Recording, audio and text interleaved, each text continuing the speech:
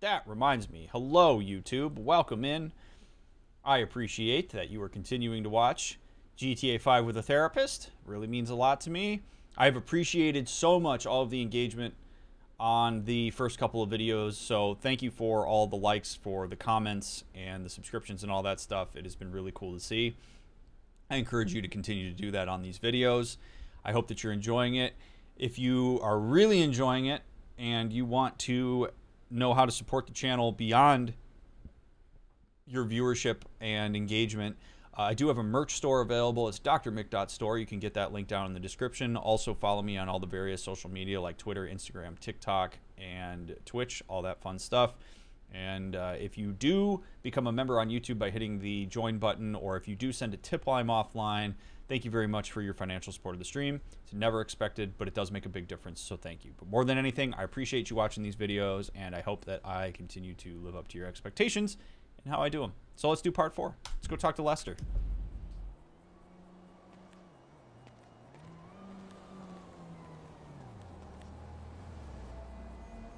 Alrighty. Just a heads up, your Twitch link isn't in your YouTube banner or about page. Sean, we got to fix that. I got to make a mental note of that. Thank you for telling me that. Um, missed. I appreciate that.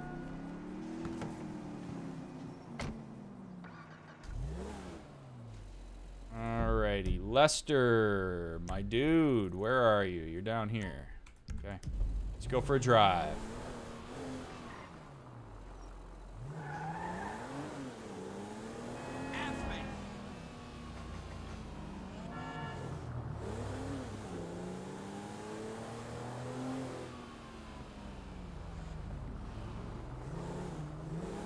Also, Sean, how was the podcast tonight? Give me a, give me a little taste of the, the concession stand podcast. How'd that go tonight? If y'all don't follow the concession stand podcast, twitch.tv slash Sean Sean Sean H, or on whatever place you get your podcasts. My dear friends Sean, Jared, and Micah, and occasionally myself, review movies and talk about them. It's a grand old time. You should check it out. Podcast was very tangent filled. It was a real good time. Nice. Love it. Damn it.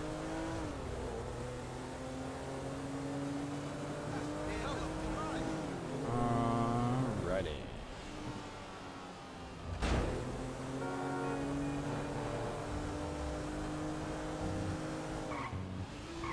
Does it count as music if I put talk radio on?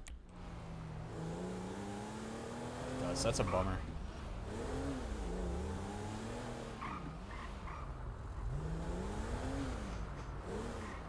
Uh, this way.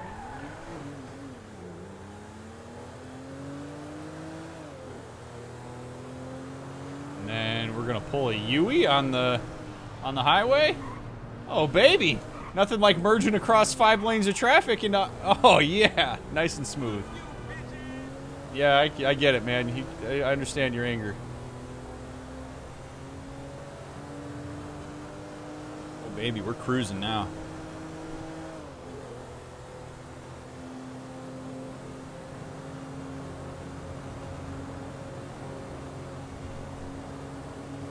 Oh. Uh-oh. Uh-oh. Recalculating. I was just one of those assholes that just stops in the middle of the highway because they have to calculate what they did wrong. Fine, we stay on the highway for a little longer. No biggie. What up, Juice?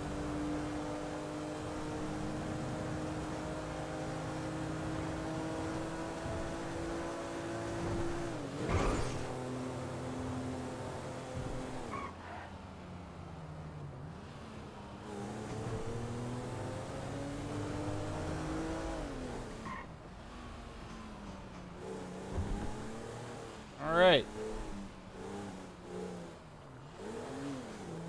Lester, what do you got for me, bud?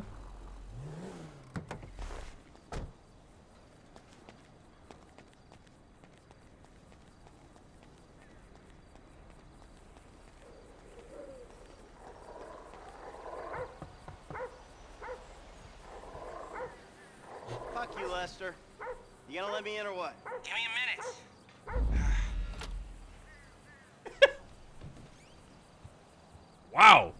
Maximum security. I was wondering when you'd show up. I was dead. Praise be. Guess you weren't very dead. You need my help. How do you know? Because you came here. Why else would you? I haven't been a good friend for you, Lester. I know that. And you're gonna make it up to me by doing whatever I ask. Or rather, I, I mean, I need something done, you need to know something, so why not help each other? I gotta make some dough, So you're back in the game? I guess.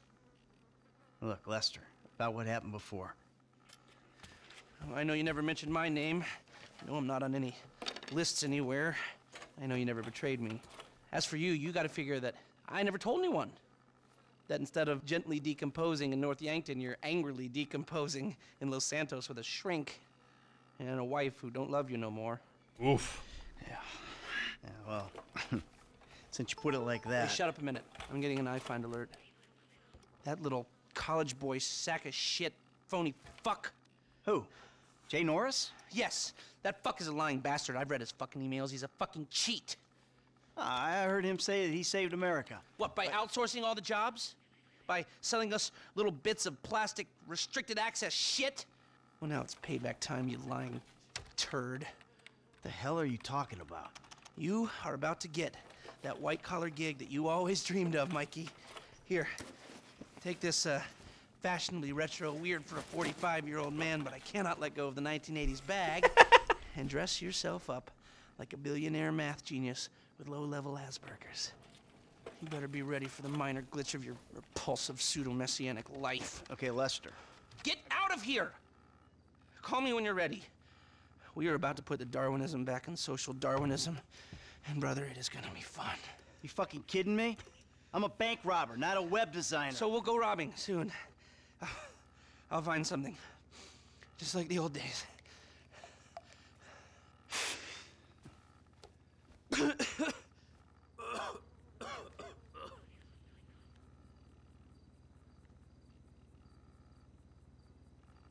As much as I love catching up.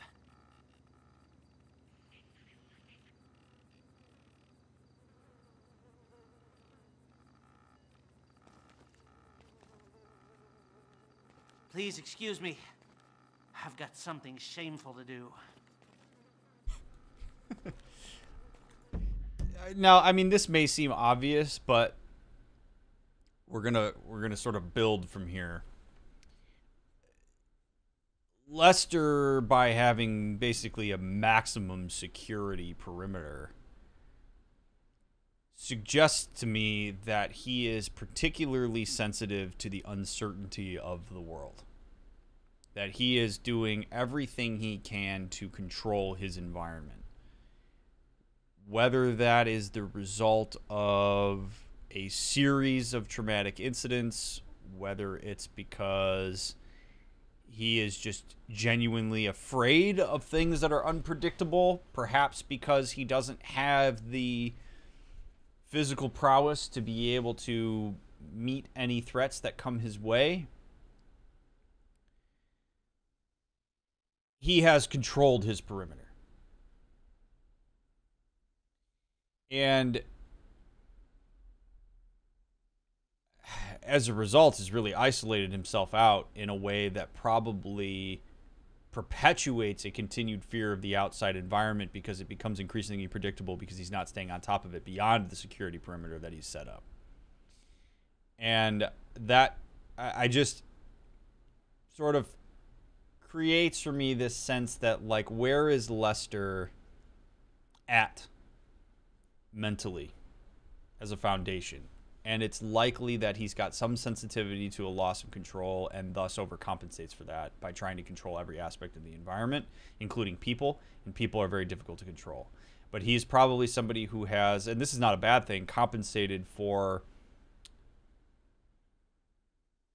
a lack of, again, physical prowess by outsmarting everybody, using his brain, and adapting to the social circumstances that come his way. I mean, it's ba- it's stating the obvious because of how you know you might look at this and go, "This is ridiculous." Was there something else? Intense security is often the result of a sense of insecurity. But it's all overcompensation for that. What's the thing behind the thing?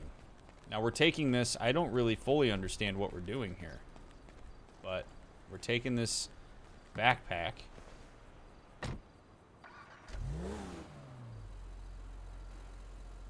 Lord knows what's in it.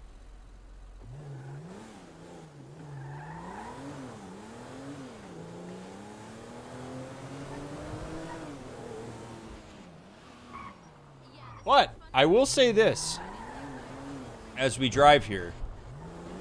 Oh no, I'll pause. What we do see is trust. Okay, so if we want to look at the dynamic between Lester and Michael, I understand this is the first engagement we've seen, but Michael just unconditionally said, Okay, I'll do this. There was a little bit of pushback, but Lester has created some form of trust. Michael is not a person that easily lets other people take control. He's not really a yes man, at least not that we've seen so far. And Lester says, go do this. And Michael says, okay, cool. And you need that kind of trust if you're going to do some of the stuff that I'm sure the two of them got tied up in. But even after all these years, it was boom, back to I, I, we know that we, we know we're cool.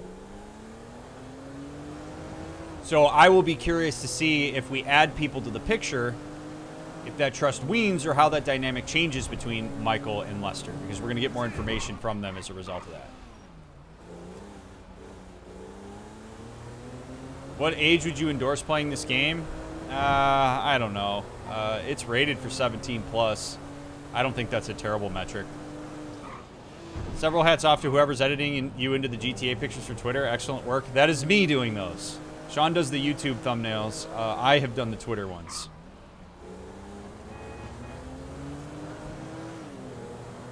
But I appreciate the uh, the kind words about it, deal.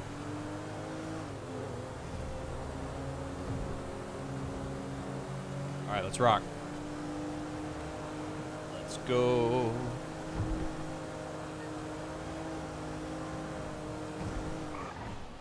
The driving in this game is better than it is in some like legitimate racing games.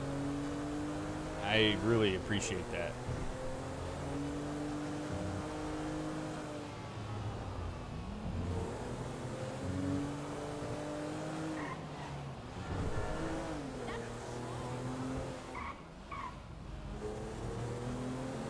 Whoa!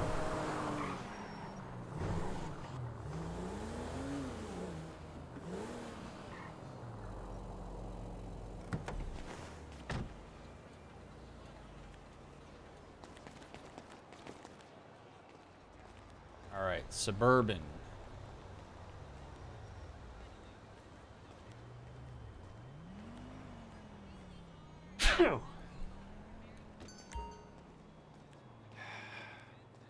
Ah, excuse me. I got this interview at this tech company. I'm thinking I need something, I don't know, geeky, youthful. Lost your job and the world's moved on, huh? That's too bad. I didn't lose my job. Of course. Got too old, got outsourced. Same thing happened to my dad. now you gotta fit in with a different generation. Hmm? What about a vest and some cargo shorts? Oof. Oh no. No, Michael, no. No, no, no.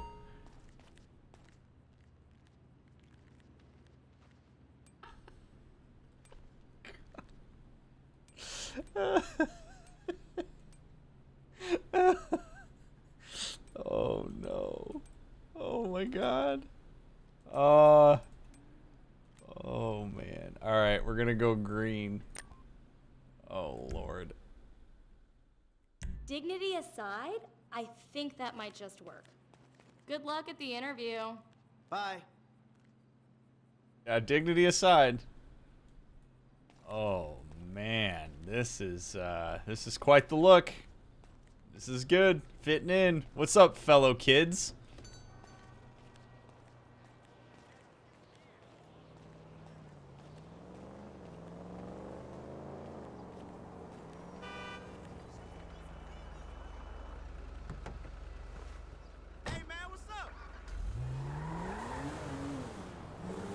Everything. I'll do anything for the bit. Michael, I'm all dressed up. Now, you want to run me through this thing? the prototype is somewhere in the Life Invader office. Find it and fit it with the device in your bag. They just gonna let me in?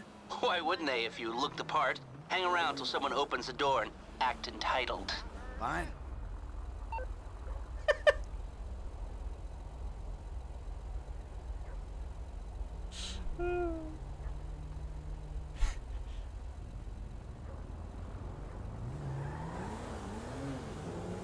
Alrighty, so we're going to Life Invader.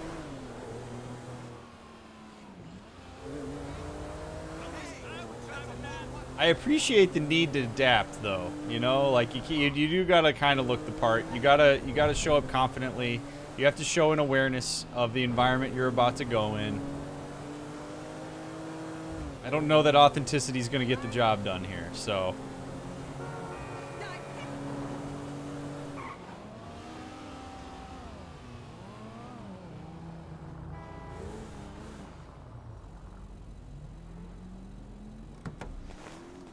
Rear entrance. Look at that. I'm even slinging the bag on one shoulder with both straps like a weirdo. What are you doing, Michael?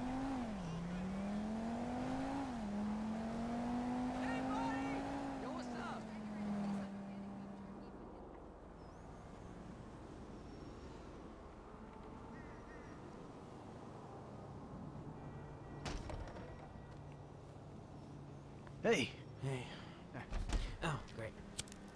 Nice. PM's pushing for more functionality. but we are maxed. I mean, if anything, we have to strip features, especially if we plan on releasing a fully Yeah. priced update a year later. Oh my, you know, it's. yeah, well, you know, you gotta do what you gotta do, you know? I mean, we're talking beta in Q4, maybe Q3. Look, milestones are one thing, but when design is changing its mind seemingly overnight, there's not much you can do about it. You know what I'm saying?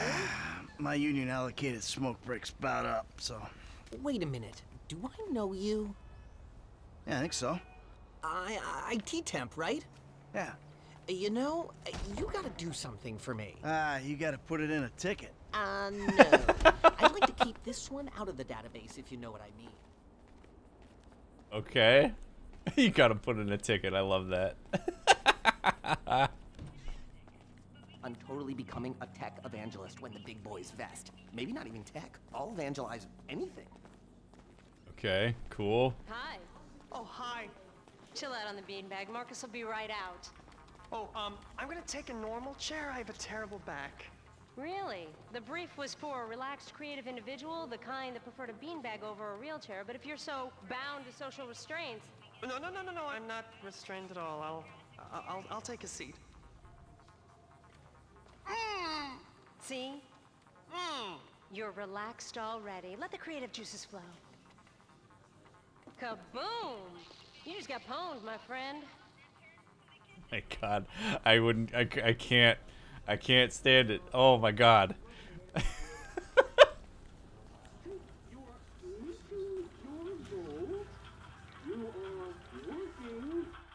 Here you go. If you guys let me use the OS I requested, this wouldn't be a problem. Ah, you've been at it on this PC. Ah, got any antivirus software? I think so. Behind this junk on the left. Clicked an NSFW link, bro. Bit me on the ass. Yeah, not safe for work, huh? Oh You know, God. my son's computer runs into the same kind of problems. Okay, we got some space. I'll try to boot up this antivirus. Hmm, guess I gotta close the rest of them down. God damn it. This place is fueled by Java, bro. There it goes. You want a massage? Cause my hands are free. And that should do it. Why don't you try and keep things strictly safe for work from now on? hey, have you seen the prototype in the demo room? When Norris announces it at the keynote, minds are gonna blow. Yes, they are. That's Oh God. How many uh, people who grew up in the early 2000s just had a nice blast from the past. That takes me way back.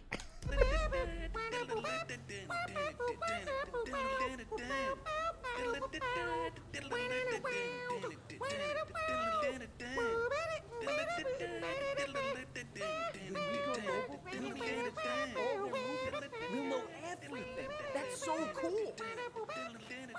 You should be a team, dude. Look at this guy. We should be retired.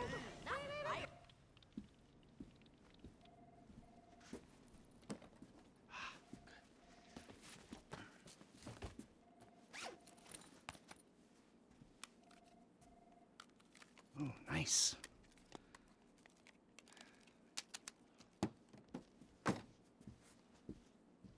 Wow. Easy peasy. Imagineering Making room. history, Work hard, dude. play Hey, and hard. couldn't do it without the little guys. Bye now. Welcome. Bienvenue. Bienvenidos. Enjoy because we're all about to be outsourced. That's a meme right there. You would not believe the amount of personal data the sheep are giving up.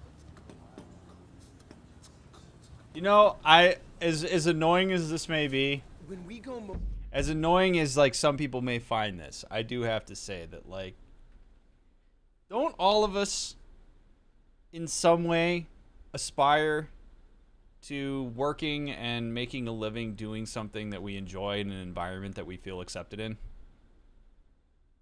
Like isn't like eh, really that is kind of a nice thing. So even if this is maybe obnoxious for some of us, there are some folks that would say that this fits in that this is exactly what they want. This is this is perfect. I get to I get to be in a, a chill environment with colors. I get to know my coworkers. It's a little more relaxed. I can be myself. I can engage with myself authentically. I understand that what they're doing for Life Invader is not exactly great. But sometimes I think it's important for us to evaluate if some of the frustration or annoyance that we experience when we see something like this has to do with envy. Like, even if the environment might not be for us, watching people thrive in an environment that doesn't work for us, if we're in a position that we're not thriving in, can be hard to see. And we can get angry at it, right? So, like, envy plays a role sometimes with stuff like this.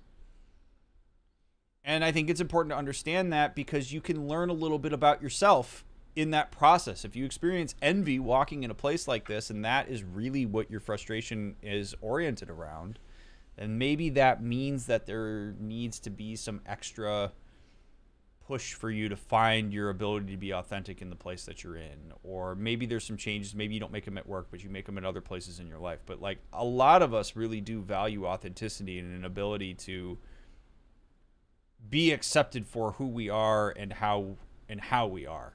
And I realize that this is a culture that pushes for cer- certain things, and like you know, the guy sitting on the beanbag chair is a perfect example of how you can go kind of radically in the other direction.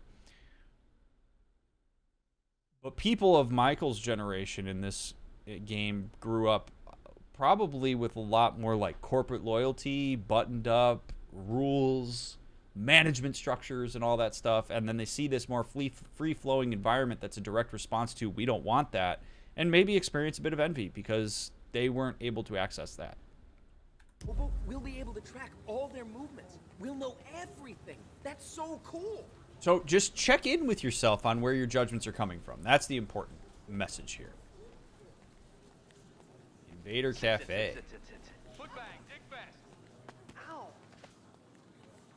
Come on, you're gonna have to learn the foot bag if you want to get a job here, okay? Follow me. Okay. Oh. How's your air guitar? Oh, um. All right, follow me. Okay. This may not be the place for this guy, and that's okay.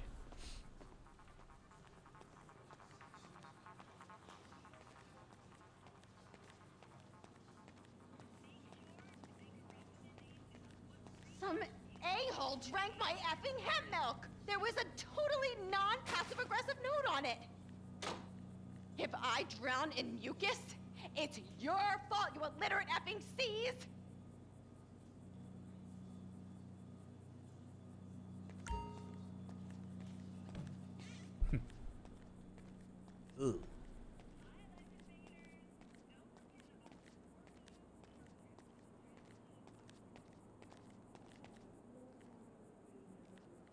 Is forbidden to smoke in this premises. Oh.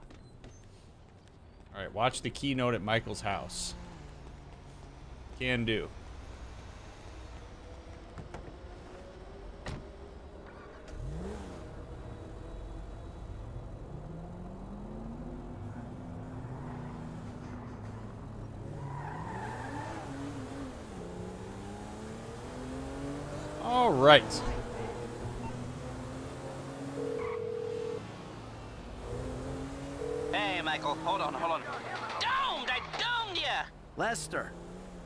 In the prototype.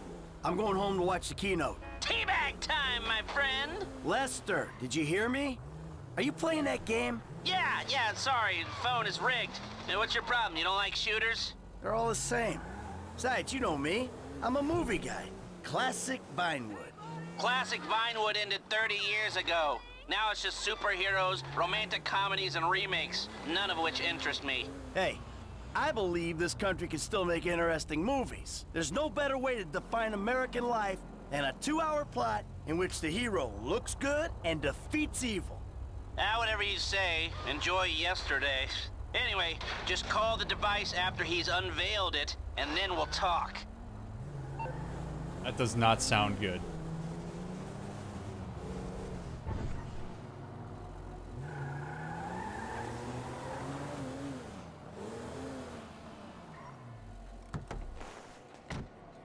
Why am I calling this device? I really need to change my clothes. I look absurd.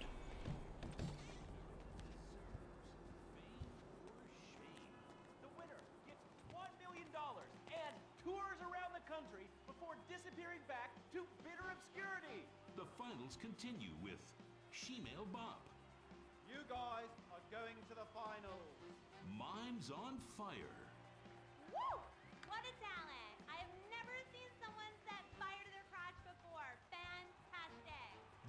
racist guy in America, You all disgust me. America loves you. You are in the finals. recorded live from the Vinewood Bowl. Who will win it all? Who will humiliate themselves in front of the world? Find out tonight on Fame or Shame, the finals. Now, please welcome your host, Lazlow. Yeah! Oh, oh, oh, oh, no, no, he didn't. Yes! Thank you! Thank you! Oh, thank you so much. It's Thank you. Fame or shame? Completely original television. Something you've never seen before. We've got desperados performing. We've got has-beens judging them. We've got an anodyne metrosexual holding everything together. We are down to the top acts. It's the finals! Yeah! And here are our fame or shame judges. Let's introduce, you love him, I love him, ladies and gentlemen, Hugh Harrison! This is amazing that this whole thing is in here. has been. Um, Hugh, uh, save the venom for the axe. They're not even out yet. You have a stylist. What's she dressed you as? What, what do they call this look? Is that like morgue chic? Gay romp. Is that it is? Two gays, one cup. look at you. Oh my god! Come on, you! Ladies and gentlemen, Anita Mendoza! Give the guy a break. Guy or gay? My so God, Deep in the closet, his friends call him mothball. Okay. Okay. Listen, why are you so fascinated with my sexuality? I mean, are you even really British? Of course. I'm from uh, Staffordshire on uh, Sea, mate. Okay, right. And finally, ladies and gentlemen, give it up for Imran Shinowa! Imran, you're you're awfully quiet. Like normally by now you're throwing refreshing sponsor beverages at me. I've been meditating, Lazlow. Well, try not to do it on live TV, all right? You're you're putting America to sleep. In my silence, a great god came to me and asked me a question. Why does the metrosexual one dress like such a turd? Hey, hey, I'm not the one who cares about his performance tonight, all right? I've already won. It's fame or shame. We're all friends here. Friends who slightly loathe each other and say nasty things during contract renegotiations. And yes, Before you ask, this is a Face brand watch. Face, official chronograph of fame or shame. Fantastic, Lazlow. That reminds me, I'm just gonna have a junk energy drink. Junk, the official energy drink of fame or shame. Really? I wanted a nice can of refreshing sprunk. Sprunk, the official soft drink of fame or shame. Can I mention that I banged with Fleeca, so I've started paying for everything. Fleeca, the official credit card of fame or shame. Excellent. I love it. Subtle organic sponsor tie-ins. Nice. Unlike your hair, you annoying poof. Oh, you! You too much. It's a combination of the accent and the incredibly witty lines. Oh, yes. Well, the British, overweight, rainy rednecks who are always trying to sound smart. All right, let's get down to it. Enough of this nonsense. Tonight, in association with Longbank, here are some of Hugh's greatest moments from the season just to fill some time. You are absolutely awful. Almost as bad as Lazlow. That, like having my balls sucked by an elderly orangutan. And I'm not Lazlow, so that wouldn't be a lot of fun for me, would it? I hope, I really do hope and pray that you die a painful death. Immediately after Lazlow. I'm losing the will to live here. You really, truly, you're awful. Awful. Awful, awful, awful. I can't say it enough. I will say it again. Awful. Awful. Wait, what are you doing? Oh, God, get a while. Stop! Jesus Christ! We've got a great night of television for you. God damn it!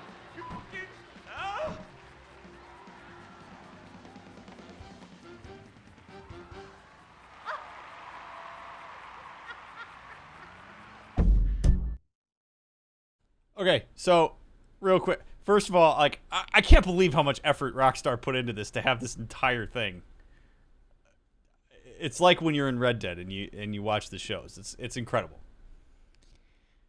Um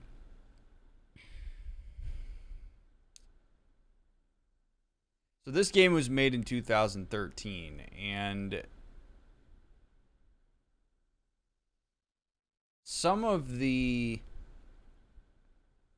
like homophobic jokes that are being made and thrown around here at that time we actually saw that a lot. It was acceptable for that kind of thing to just be thrown around in that way. And it's a type of representation that when allowed to be on that platform like that finds its way into the general social psyche where you're seeing like indications of a person's potential sexuality beyond being heterosexual as being less than, as being a problem, as something to be made fun of. And if you're a person who is gay who's watching this, like if it was like th- if you were actually this time you're watching this, think of how horrible that would feel. To know that in front of millions of people, people can make jokes about your sexuality and the fact that you're gay as if you're less than, as if that's something that's worthy of absolute ridicule by people in positions of power in the show, but also just in social hierarchies. It makes you second guess how out you want to be. Makes you ask yourself if you're a kid, is it okay that I'm gay? I see everybody making fun of it. When we say that something is stupid or bad, we call it gay, which back in the ear- late early late 2000s, that shit was said all the time. This is what contributes to overt homophobia, but is also what contributes to a person's own internalized homophobia. Uh, have we come a long way since 2013? Yeah, representation is way better now than it used to be. But this is a really clear reflection of what things were like at the time. Is it satirized a bit here because it's GTA? Yes, but this these are the type this is why representation is so important. Because you don't often realize the effect these messages have on you as a human. These things get dumped into the back of your brain. Where you see maybe somebody who's gay in your own environment, and because all of the representation you've seen is that that's something to be made fun of, something to be afraid of, something to have disdain for, you operate off of that. Even if you want to tell yourself you're unbiased, go for it. But your biases aren't always even conscious biases. They're injected into you by what you consume. So millions of people are watching this and seeing that that's okay.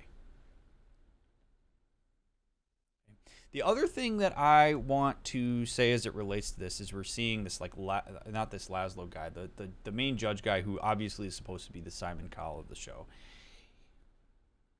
Constantly jab at Lazlow for his sexuality.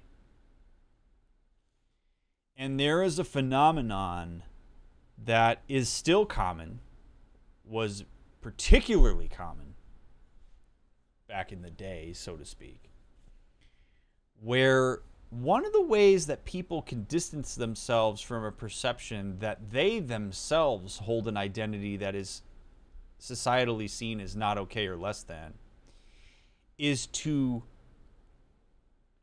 pin yourself or polarize yourself against that. So, this judge, by consistently making fun of Lazlow for his sexuality, makes it appear as if there's no possible way that he could be gay. Why would you make fun of somebody like that so harshly? If you yourself were gay, wouldn't you have empathy? Well, internalized homophobia as the result of the rampant, terrible representation of that sexuality is something that when people would internalize it and then experience their own sexual drives that maybe weren't heterosexual, because it wasn't safe to disclose that, because it was seen as being less than, people would overcompensate by harming people and and to the point of even lawmaking at times harming people that are hold a similar identity that they have and have suppressed because they don't want people to encroach on the idea that maybe that's an identity that they hold. And I'm not saying that the judge is gay. If he is, that's not a problem. But in this time, he might perceive it as a problem and thus try to distance himself from that aspect of his identity by making fun of others, because then there's no way that you would suspect it. That's a phenomenon that happens frequently and is very real. I'm sure there may even be some folks who are watching this video who might connect with that. Right, Victoria? I know. Eh, we've come a long way. You British have such a sophisticated sense of humor. yes, the British, so funny, so funny. I love you, buddy. Oh, yeah, I love you too, right here. There you go. Yeah. The weird thing is, he really does love me, yeah. Or at least he tries to, every night, in my dressing room. Come on, please, all right? I, I was drunk. I mean, you? I'd rather finger that fat Irish singer we voted off last week. Oh, the tabloids say you actually did. What? Had sex in exchange for advancing her to the final. Oh, dear. No, no, no. Please, please. Who, listens to fat people? Or, or the tabloids? I mean, they're all so desperate. Um, anyway, uh, let's get on with the show. Ladies and gentlemen, favor shame, our next contestant, William Angio.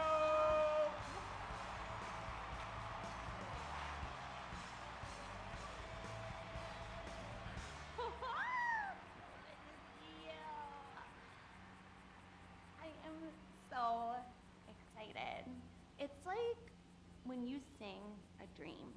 I feel like you are singing straight to me. Because I am.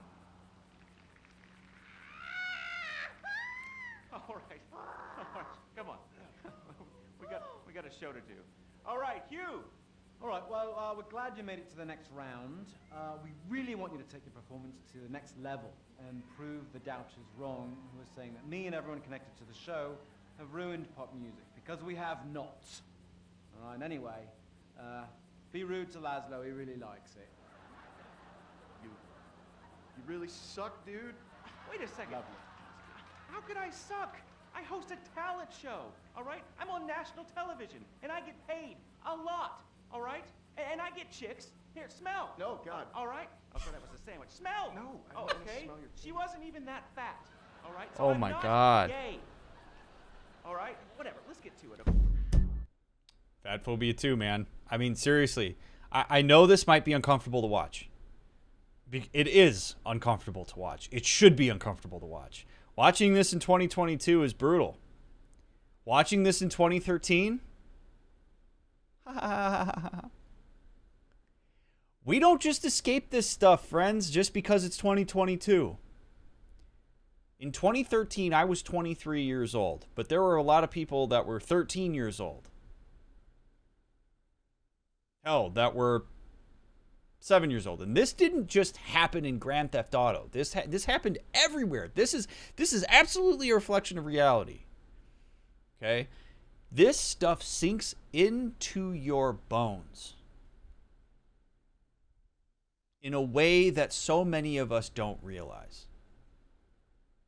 If you ever wonder where people's biases come from, it's not often from the overt stuff. It's from this stuff. It's from the fact that this was okay. Is some of this developmental? Yes. Do we, do we need to get to a point where we started to realize that these things were harmful and do better? Yes. But when we when we talk about progressing, we're talking about moving into a space where some of these things are not represented as one dimensionally as they are. These jokes that are being made here would land way more effectively if they could be placed into a context where there was more diverse and realistic representation. Okay? It's why it's easier to rag on the majority group because the representation is better. Like, I, as a white dude, can take a joke real easy. White, straight, I, I tick all the boxes of privilege. It's really easy for me to take a joke because my identity is represented beautifully all over the place. You could rag on me really with no with no consequence to me because of how diverse the representation is. So it's easier for me to take a joke because we can put it in that context. If you're gay in 2013, this is the majority representation of the shit that you're seeing. So now these jokes aren't funny because there's not a wider context to put it in. As you diversify representation, as you make it more real, you can get back to having some jokes. Because in reality, good comedy means everybody's on the table. But the problem is we have to take in these wider dynamics before we can actually inject humor in a way that's actually going to be meaningful and taken as humor. So there's really a big conversation to be had here as the result of us watching this show and really seeing this glimpse into the past because for a long time this is the kind of stuff that we saw and we just there was nothing there was just no batting an eye at it it wasn't brought to our attention until people who legitimately are harmed by things like this were like hey hi this is really problematic this this causes issues for me in my life that this is the representation of my of me. This is not accurate representation. And that's really all any of us ever wants in the media in front of millions of eyeballs is accurate representation. That gets closer to the diversity of subjective experience. Okay, I am so desperate to hear you sing. I mean, last time you were fantastic. Uh, so you're gonna do uh, a Love This classic, right? Uh, no, it's from one of Jez's solo records, which I'm gonna improvise. All right, and if he sings, I don't want to get DMCA'd, so we're going to end it here. No, I'm watching Fame or Shame. A fucking tis. Give me that. Right, well, yeah, about the uh, machine. Me and the Stinky Finger girl kind of busted it earlier, but I'm sure you'll be fine. Are you ready? Um, yes, I am. All right, it's Fame or Shame for William Angio. Ladies and gentlemen, please welcome Mr. Jay Norris to the stage.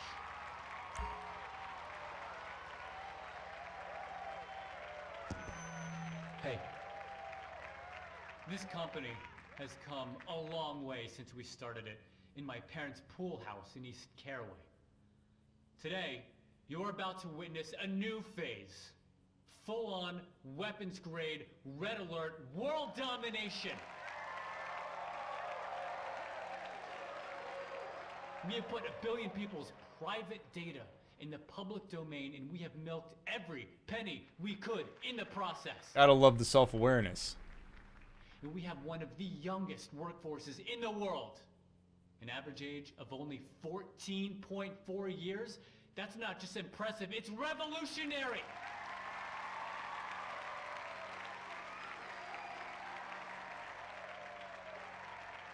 Peak pride populate. right here. We're about to make the next step. Prepare to witness the future.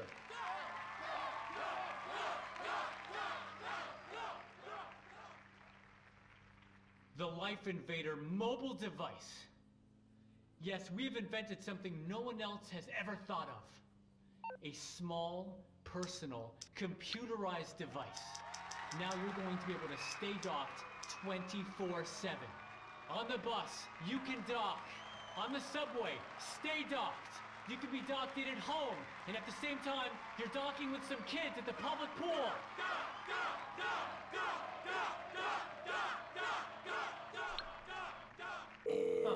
Hold on a second.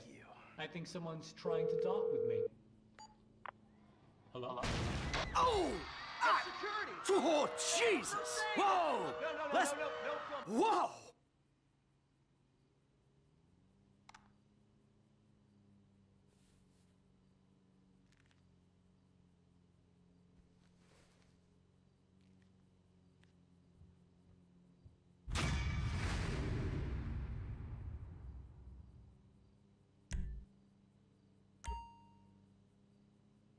Whoa.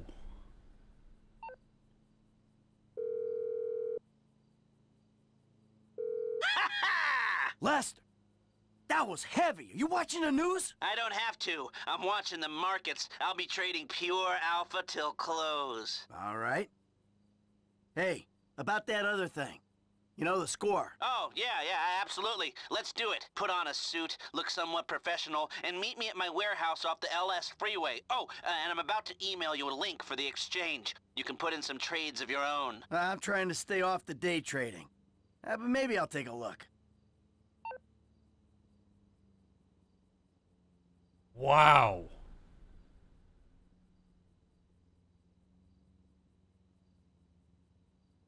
Uh, well. Uh, that is, um...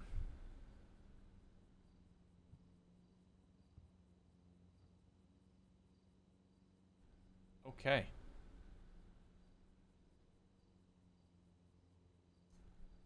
So we just we just killed somebody. I know we've killed plenty of people in this game so far, but we just we just legitimately we just killed that dude and lots of people were watching it. We just traumatized the masses. Oh my god.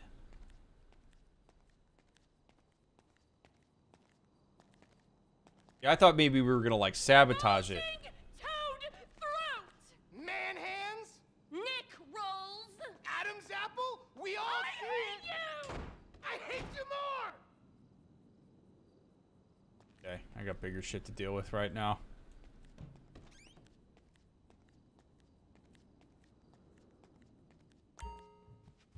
I love you, son. Whatever you say, Dad.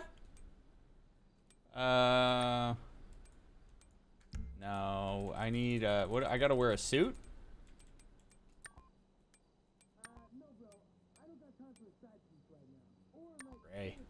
Absolutely. Okay. You like know someone who'd go out for a drink with me, uh, I do get kind of lonely sometimes.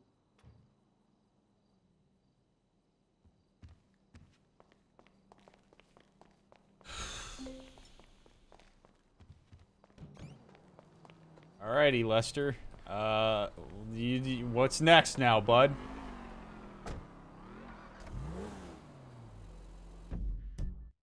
Our unconditional loyalty hath killed a man.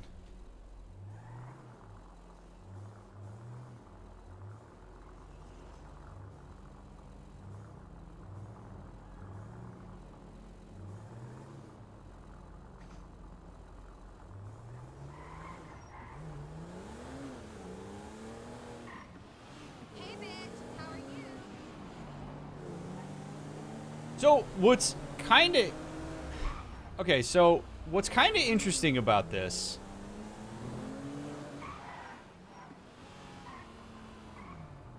From Lester's perspective, I actually don't know that I think it was a good idea to tell Michael or to not tell Michael what he was going to do. If there's that much trust between the two of them, then you would think that like Lester would say like, "Look, man, I'm going to tell you exactly what to do, and I, maybe you're not going to like this, but you, this phone call when you call it is gonna is gonna blow his face off." Now he may have calculated that as well. If I tell Michael that that's what's going to happen, maybe he's going to say no. But Lester also had a ton of leverage in that moment the reason that I think it's a weird miscalculation for Lester is that he Michael not expecting that to happen could completely throw Michael off his game. I mean, he he could potentially traumatize Michael. He was essentially leveraging the idea that Michael has seen some shit in the past and so this would be totally easy to assimilate into his psyche of things that he's already done that are horrible. And maybe he's right but I don't know that that's a risk you want to take. I actually think that like if the bad thing's going to happen, you want to know that Michael committed to it regardless of what it is. And I'm not advocating for him killing this guy, but like you know what I mean. And also making sure that he's not thrown off here. Because now how do we trust anything that Lester tells us to do? Right? Like it breaks down that trust. So to me, it's really a bit of a miscalculation on his relationship between himself and Michael. Like that was pretty extreme. And I mean, who knows what his thought process was? Maybe it was to shock Michael back into realizing, like, if we're going to get back in the game, you have to be ready to do this stuff. I just don't know that that's the way that you go about it. Maybe because Michael was out of the game for so long, didn't want to take any chances on him to do the job, on him to do the job. I mean, maybe. I just, if he's back in the game, there needs to be trust there. And to me, that's more of a violation of trust more than anything else. Like blind loyalty, as we talked about in the Red Dead run, blind loyalty is not something you really want to push for in situations like this. Like we need good, constant, clear communication, informed consent on what we're doing, even if it's this messy shit.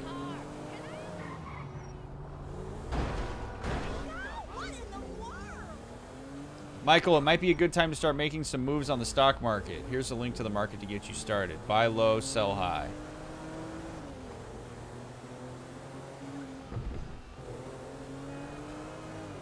I'm just, I, again, I could be completely wrong. Maybe Michael's fine with this. Maybe Michael and Lester are totally cool with this. This is how they roll. There's no issue here. It just really seems like a miscalculation to me on Lester's part. I don't know that that's how I would have gone about this.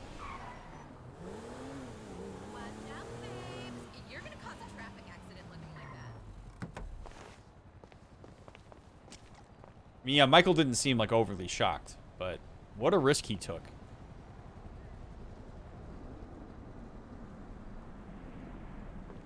The hell is this place? Garment factory. I needed a job that didn't require me to do anything apart from uh, paying taxes. Okay, listen. What do you got? The Holy Grail. The Union Depository. Now, they say it cannot be hit. Hasn't been yet. I just owe some Mexican hood a couple million bucks because I wrecked his girlfriend's house. I don't need to go crazy here. Which Mexican? Martin Madrazo. He's not supposed to be very nice. Oh, when I met him, he was charming. so what do you think? Oh, um, let's see. Either we hit a bank in the sticks or we do a store. Which do you like? Well, store's usually easier. but I gotta make a big take. Uh, well, gems it is then. Let's go to Vangelico, buy ourselves an engagement ring. Oh, we're gonna need a crew. I can round up some of the old guys. There are no old guys. Moses, uh, ironically, he found Jesus. Uh, all those Irish crazies, they mostly just disappeared. That crew from the south, they all went down.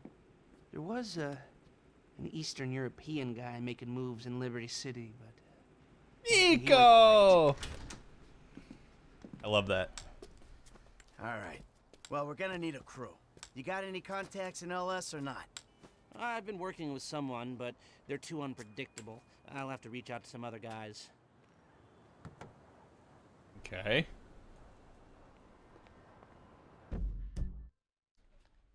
Lester controls the environment. Uh, it's okay. This is making more sense now. Lester controls the environment by being cryptic. He keeps things on a need to know basis. He has us in a constant state of, insecure, of insecurity and not quite knowing what's going on as a way to control. He has all the information, we have some of it. It makes him necessary.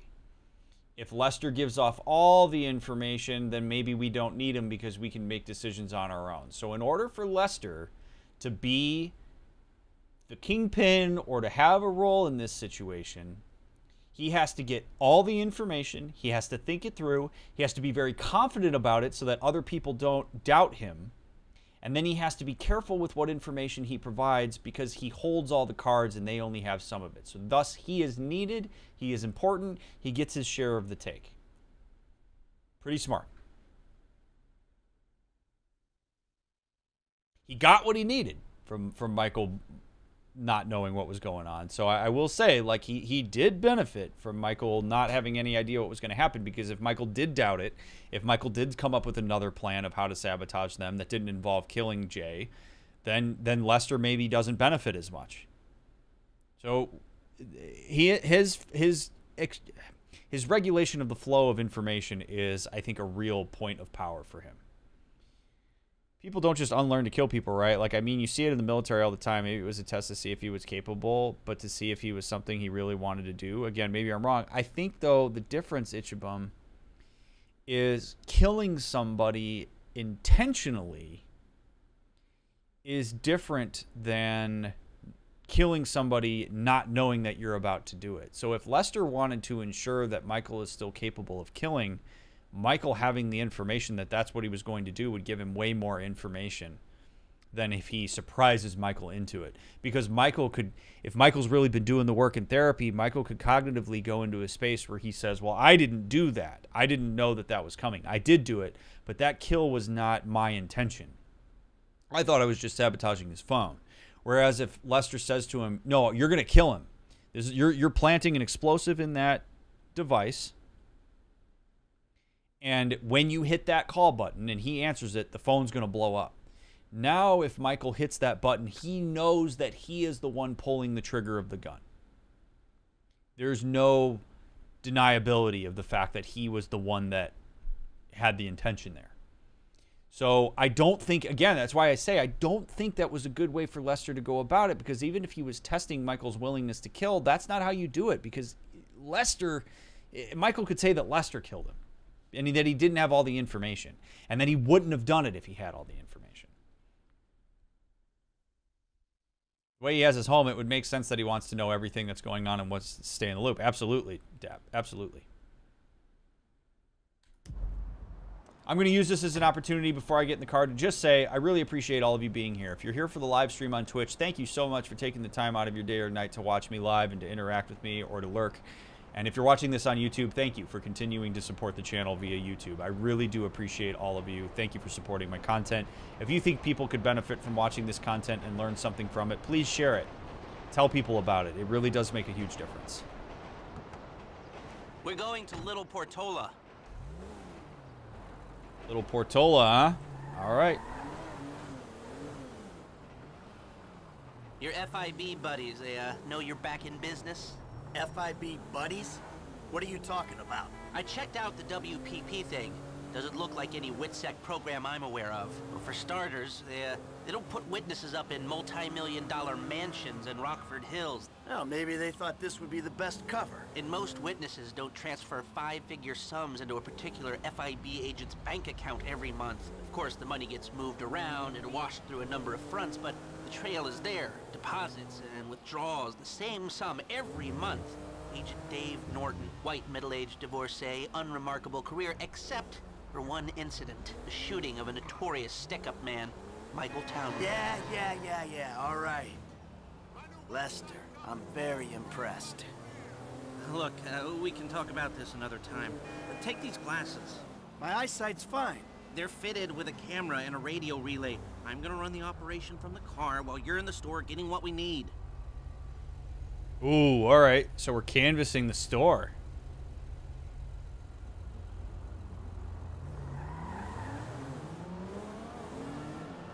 This will be interesting.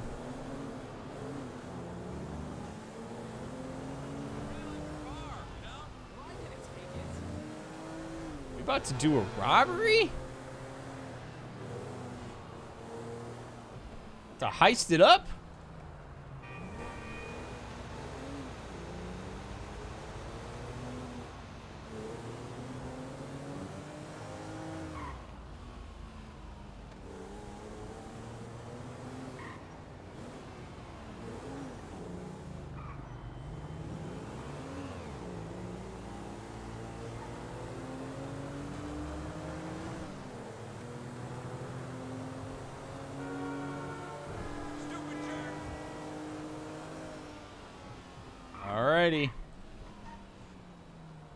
Here we are. Oh, I look. Oh, yeah. Nice. Okay. Enter the glass's hidden camera.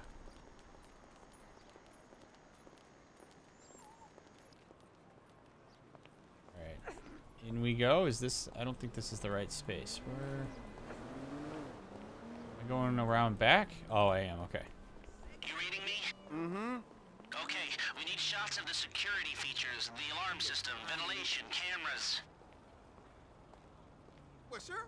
Ooh, baby. Vangelico.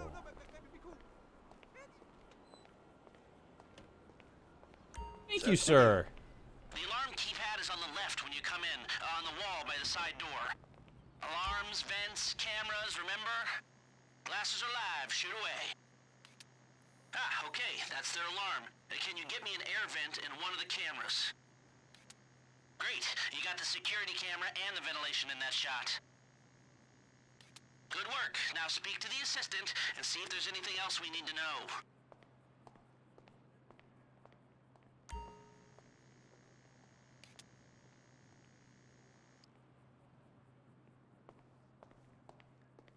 Hey, beautiful. Ooh. I need to pick up a little something for the woman in my life. Well, one of them. Sir, I'm sure we can help you. Tell me about her. What's her taste? Cheap. Thank God. This ain't my wife we're talking about. Dude, Michael. All right. I don't know. Chill, buddy. I don't want to spend too much. I'm thinking maybe 10 grand? Our rings start at 8, our pendants start at 12. All right. So these things built to last, or am I just paying for the Vangelico logo here? no, no, no, no. We use perfect clarity jewels. 18 karat gold, 950 platinum. Nothing but the best. All right. Unreal to me that people pay that kind of money for jewels. I'm jewels. gonna take a look around. Think about it. Come back to you, baby. Don't go anywhere. I understand. Okay. Thank you, sir. You got it. Ugh. Come back to me. Michael.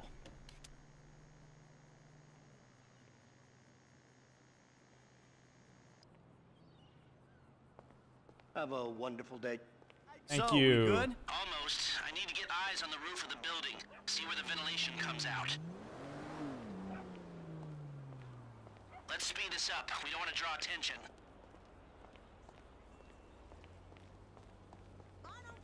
Yeah, don't draw attention by sprinting away from the store towards the car where a guy's just chilling. Drive around the block and look for a way up to the roof access point to the rooftop?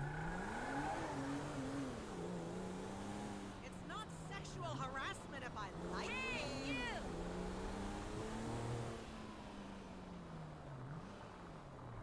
Hi, Look, there. Some construction. Yeah, if they're gutting the place, I might be able to get to the roof. I'm just going to leave you in the middle of the street, Lester. Hope you're okay with that, buddy. Please excuse us whilst we touch ourselves up. So, you keep up with the old crew? Hell, after your death slash disappearance, there wasn't much holding us together. Yeah. You see him at all? After the incident? I kept tabs on him for a while. Needed to uh, know that he didn't blame me. Yeah, where'd he go? North, south, east, west, wherever there were liquor stores to turn over and hitchhikers to disappear. Where did they bury him? They buried him? Not as far as I know. He's probably a John Doe then, right? No, no, avoid I saw a ladder. Climb up it and see if you can get to the roof. What do you think? OD? Shootout? Maybe just a car crash, right? Anonymous charred remains on the highway? If they only knew what a sick puppy they had on their hands.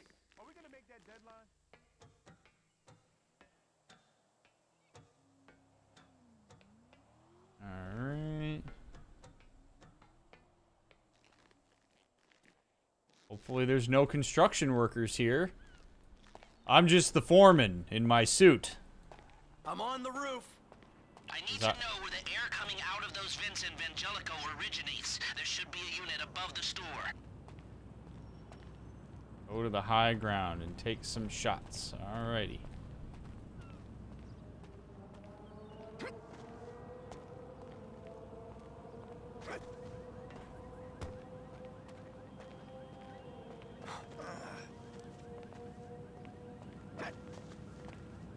Hey, I see the vents. Yeah, I'm looking at the relay. Can you get any higher?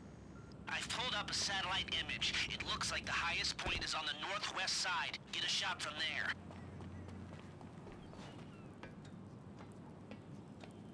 Can do, Lester, old buddy, old pal.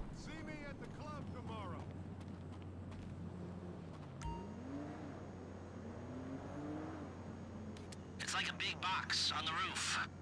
No, no, the air conditioning roof unit. We need to where come out.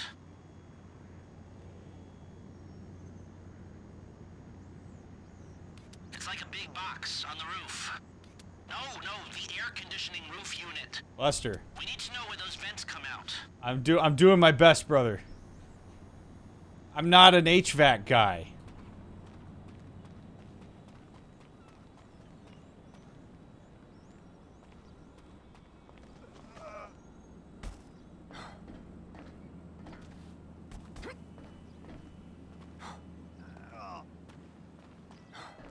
Right, you're well placed to take the photo of the system now.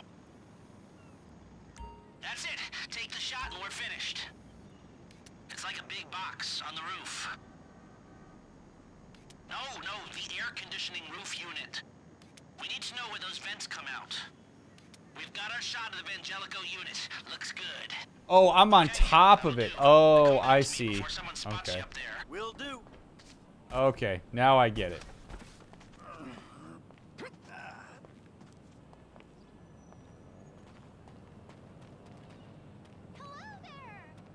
This is I'm I'm not equipped for this kind of thing, man. I'm not.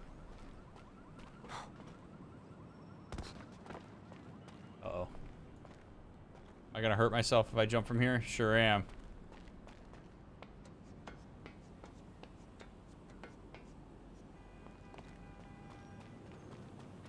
Get out of here. Let's hurry this up, Michael. Oh my god, Lester, just chill, buddy. I just climbed all the way to the top of a roof via a construction site, and I gotta go all the way to the other side. If you want me to help you, you gotta be a little bit patient.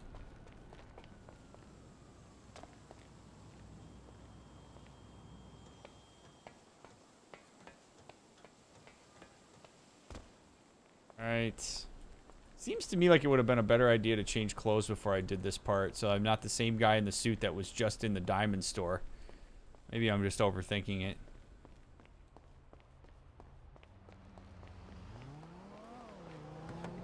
Here, Yeah. take your glasses back. Let's go back to the garment factory. I called ahead and told him to start setting up the information.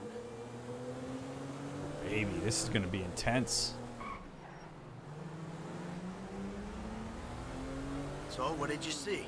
Nothing that'll cause undue complications. Yeah, it looked like a simple setup. Lord! Cameras broadcasting to a remote server. We might be able to wipe them remotely. Security guard on the door. He won't want to die for rich assholes who rub his nose in it. Uh, good. Alarm system's linked to the door lock. Uh, we'll get a good window. Someone talented hacks it. Anything else? Well, the uh, more valuable merchandise is in the cabinets in the center of the store, by the register, so I'd start there. Glass in the cabinets wasn't bulletproof. Means you can smash them easy enough, but the stones will be in the safe at night. So, we go in when it's open then? Right. Once we melt down the gold, recut the rocks, that's an okay score. Yeah, shame we can't go in after hours, man. Those vents look promising. Uh, might be able to flip that another way. I'm listening. Wait till we get back. About the crew. Yeah? There's this kid who's been helping me. Maybe we could cut him in. I don't work with amateurs. He ain't an amateur. Or if he is, he's a gifted amateur about to turn pro. He's a good kid, Lester. You know what they say. It's your funeral. One of them, at least. I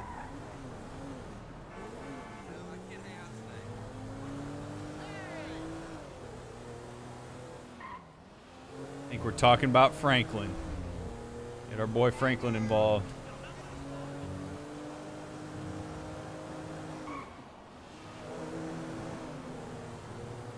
See, but even there with Lester, right? Skepticism, but then trust. You know, if you say so.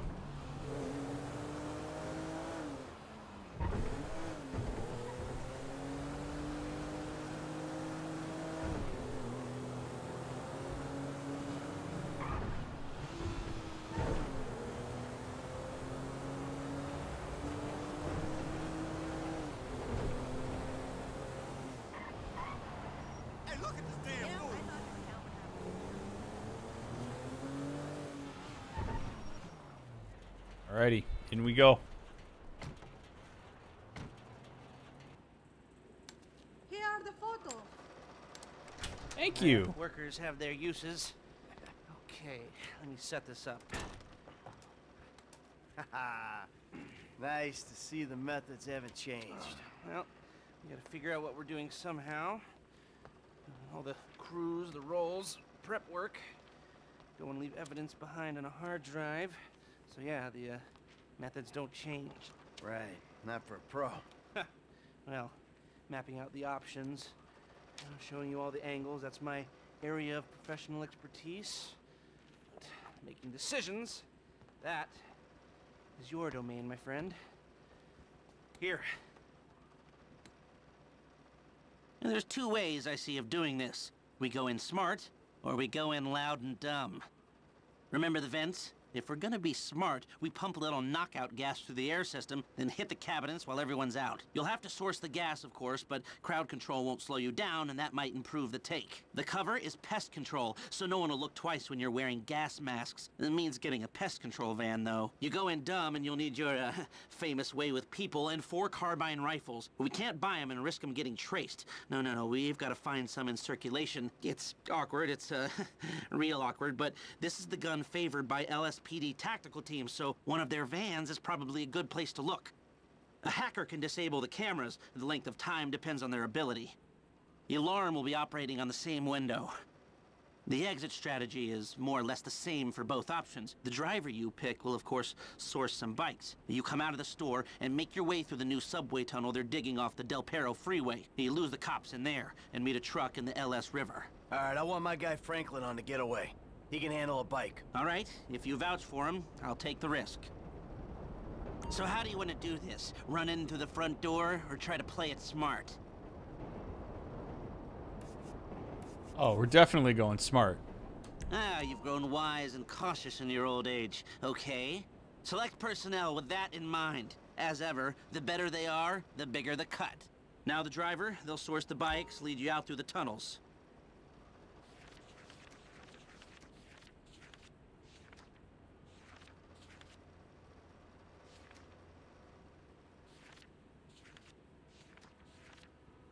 Eddie Toh. Now you can count on him to get you out of a spot. Guns. Now we're hoping to keep quiet, so this guy shouldn't make much difference. Ah, Norm.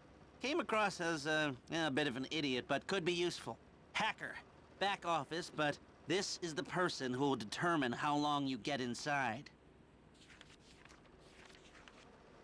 Harris! Good. Feminine touch. She'll be able to find any back doors they got. If you're happy, I'll start making the arrangements. Yeah, let's do this right. If you're gonna do it right, you pay for it to be done right. Great. Uh, I'll do some research on a pest control van and the knockout gas, and I'll be in touch. Oh, yes. Good, good. I'll call you when everything's ready. You'll need to pitch it to the guys. Whoa, what? My rep don't count for nothing no more? You're a dead man, Michael. I'll call you.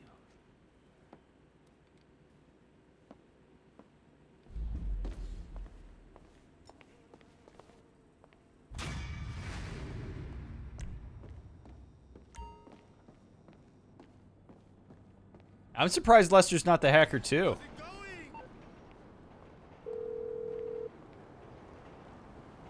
Hey, what's up? Hey, man, it's me, Michael. What's going on? Listen, um, I gotta get hold of the money for that house we pulled down, so well, I'm getting a crew together for, uh, you can guess. The pay will be awful, and the risk will be high, but you might learn something if you're interested. Man, that's not exactly a great sales pitch, dog, but I guess I gotta start somewhere. Thank you. Maybe one day you can put together your own deals, your own jobs. So, there's still some preparation I gotta do. Sit tight for a while. My buddy Lester will get in touch with the details. All right. Man, Franklin is just like willing to just do whatever.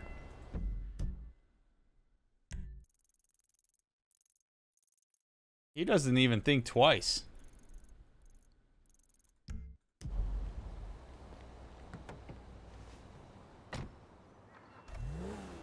Back in 2002, there was a hostage crisis. Russian police pumped the theater full of knockout gas. As you can imagine, it didn't end well. So the idea of using a smaller area never sat well with me. Yeah, who's this? It's Rickie from Life Invader. I know you're the bro who deactivated Jay, bro. Oh, I have no idea what you're talking about. Did you get my pal. number? What you do's your business, bro.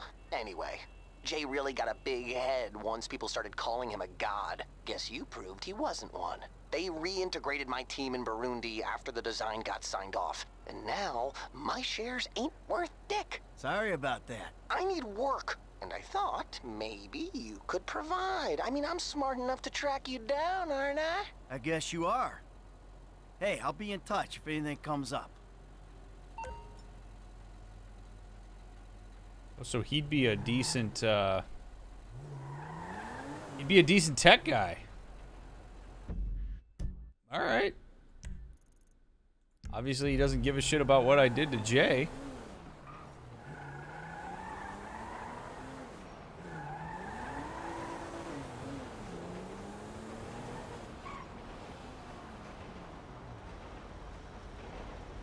I am impressed that he found me. So I'm guessing, I guess we just chill for a little bit here and drive around and wait for Lester to call. As I don't have anything else to do. Let's go see what, uh, let's go see what Franklin, well, no, wait.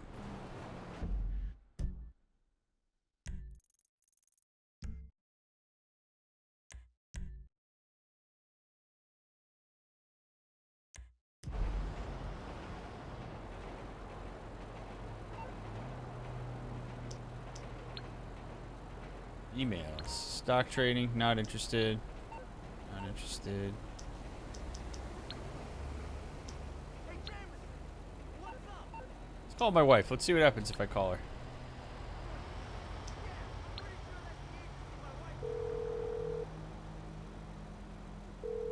Amanda, it's me. So, you want to try to reconnect?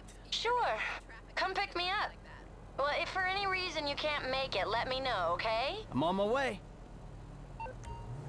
All right, let's make an effort.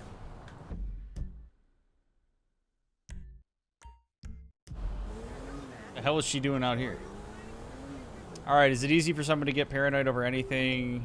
Easier or hard for a person to become paranoid or something? Can it be anything? Uh, that's a hard one for me to answer, Titan.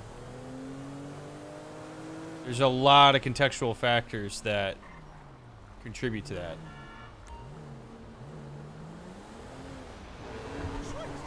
Talking about how well people mesh and work together, do you think a team of Michael Franklin, Jackie Wells, and V would play out well, or do you think Michael's professionalism and Jackie's ambition would clash? That's a hard one. I don't know, Tiggity.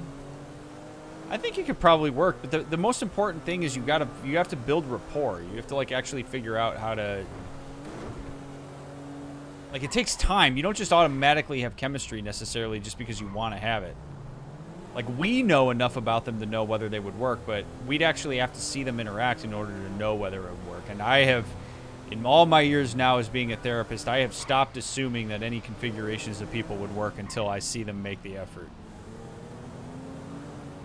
It would blow your mind how often there are people you would think wouldn't work well together who do work well together, and people who you think would be great don't. All right, Amanda.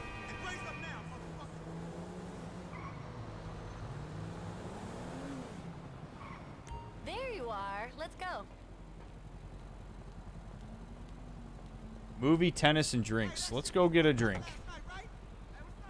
Well, you. You seem well, Michael. Do I? It's good to hang out, spend more time together, you know? Glad you think so. But listen, Michael, I really need you to cut back on your drinking. It's starting to affect more than our sex life. I don't drink that much. Thank you. yeah, just on the days of the week that end with the letter Y. That's good. I mean, come on. We both know you've turned into a bitter fat slob who last year wet the bed. I want that bitter thin slob I married back. Yeah, so he can watch you bang the pool boy. I drink to dull the pain. Mmm, that's nice, dear. Really nice.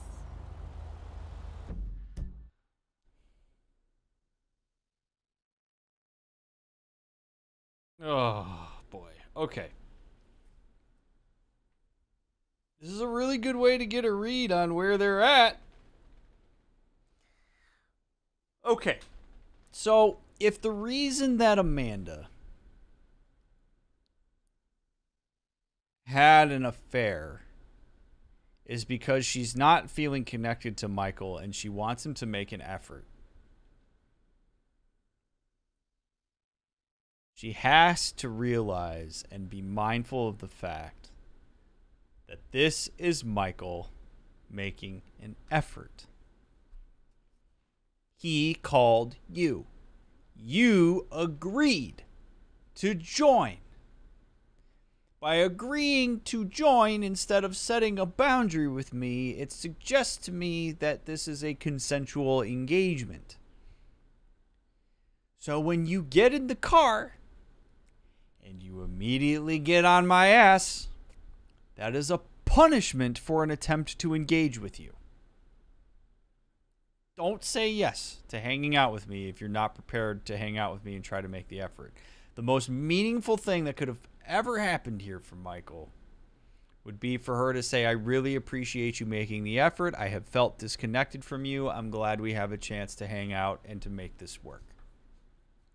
Now, I'm sure that there are very legitimate things that she has beef about. If Amanda is frustrated about the way in which Michael is drinking, that is a legitimate concern. It is okay for her to hold space with that concern.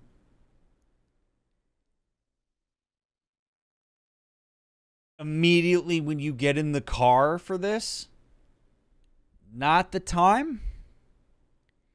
If she was to say, I would, I don't want to go out to a bar and drink because I'm, uh, I've been uncomfortable with your drinking and I would rather have a sober engagement, that's perfectly reasonable. In fact, we're going to switch to tennis because of what she said. But you have got to be mindful in these engagements about the ways in which you reinforce or punish certain behaviors.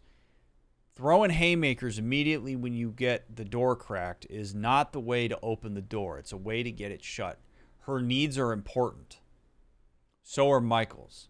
They can problem solve this effectively if they're willing to actually sit down and do this in a meaningful way, validate, listen. Coming at each other this hard immediately, not really going to be an ideal way to do this because now we're off on the wrong foot. Now we're off on a hostile fit, uh, We're also on a hostile foot. We're going to both be defensive. I don't like it. You know, Michael also is is not. Uh, he's Michael doesn't get off scot free here either. You know, Michael could be more open to listening and saying like, "Hey, I want to know more about what led you to do that. Like, what is it that you're specifically unhappy about? I want to figure. I want to figure out and learn more about your experience of this relationship." He could do that too. There, both of these people could do better in these interactions. So do not mistake my rhetoric here for saying that Amanda is entirely at fault or that Michael is entirely at fault. Drivers, but you. How about some tennis? Yeah, let's just take it on head on here. Maybe if I engage in a thing that you enjoy, you'll be less likely to do it with other people. You'll see it as something you can connect with me on.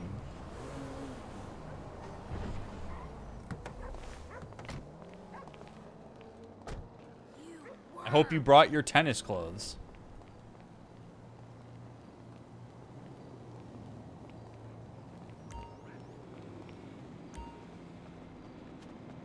You and me on the court. Let's go. Yes, he is, Ichibum. They both are. Use A and D to aim your shots. Okay. For a high bounce and shorter flight time, top spin. Top spin shots have a red marker. This is unbelievable. What are we gonna do?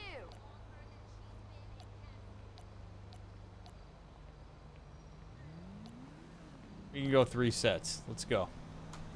Ours might be a marriage in name only, but at least we still got tennis. We'll always have tennis until I can't stand the sight of you.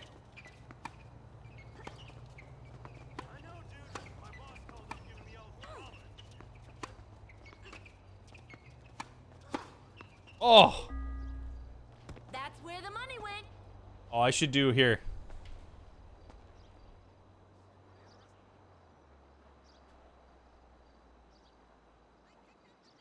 Hold on. Dr. Mick Casino is open. Can you serve already?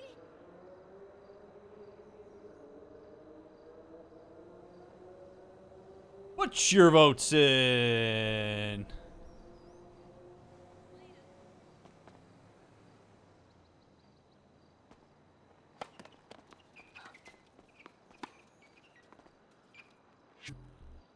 There we go. I realize that y'all can't fully see the scoreboard, so let me turn the overlay off here for a second. All right, here we go. Uh, Titan, those are hard questions for me to answer, dude, because they're not, uh, like, uh, you'd have to give, you have to be more specific with that. I don't really know how to answer that.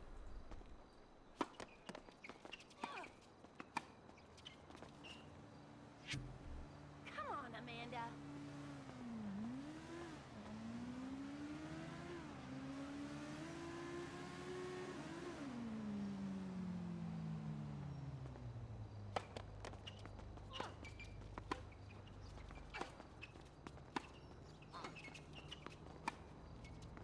Woo! Let's go. You really are desperate, aren't you? Yeah. I'm not going easy on her here.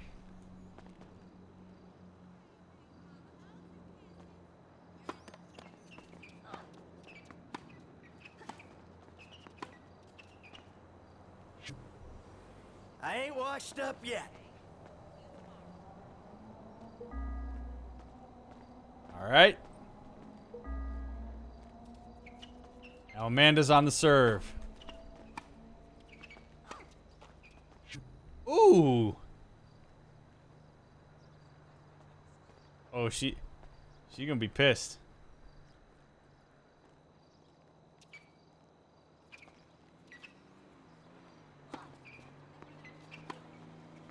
Look at that backhand.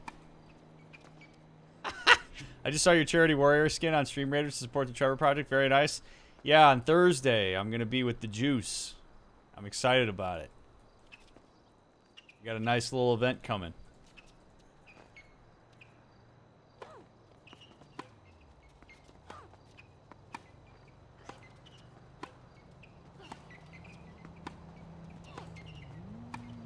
Jesus, mind my eye. Oh. Another few points like that and I'm back on track. Damn.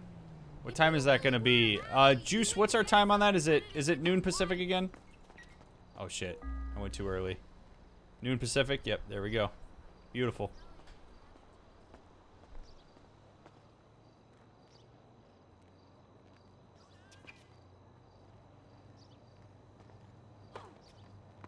This is your court, Amanda. Oof. Own it. Oof. Oof. Oh no, I did three sets. Oops. I shouldn't have done three sets. That's my bad.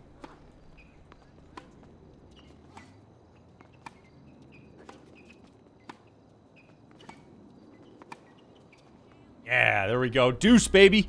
Not bad for a fat old fool like me.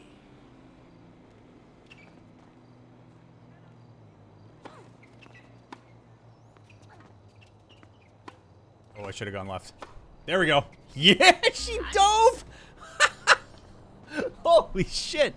She's playing hardcore here.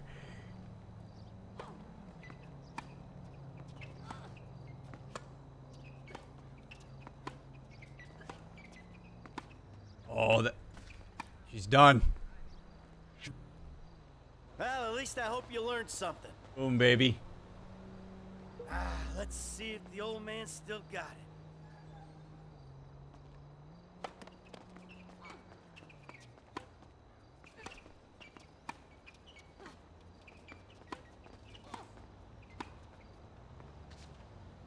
Killing it. Take a look at that. Killing it. Uh, 12 Pacific would be 3 o'clock Eastern, Panda.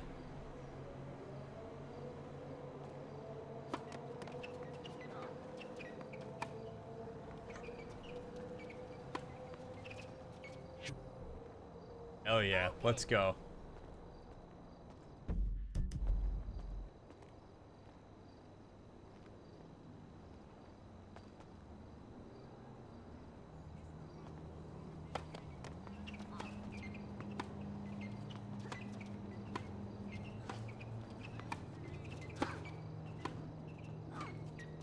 Oh, at your age, you Oh yeah. be feeling that.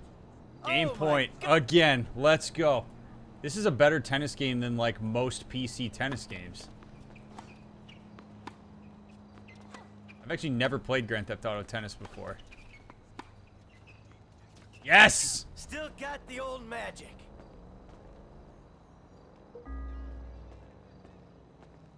God, are we doing five games in a set? Holy shit. Uh, three sets was the wrong choice. Boom. Dominating.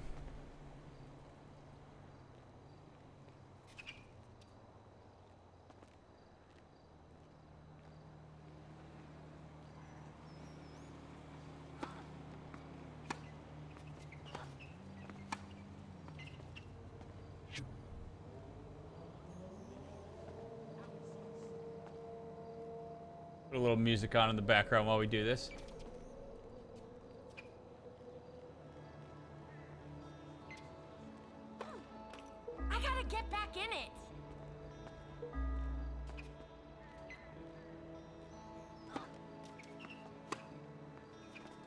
Jeez.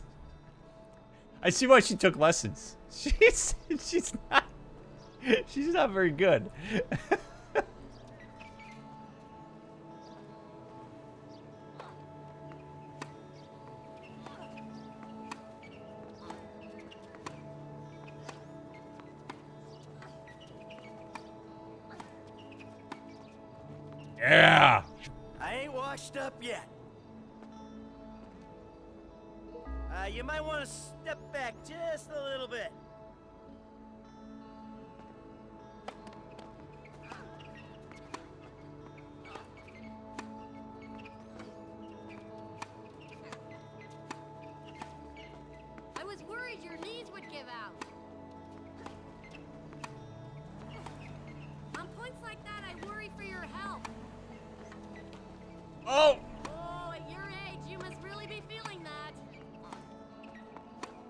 Michael. There we go. What a volley.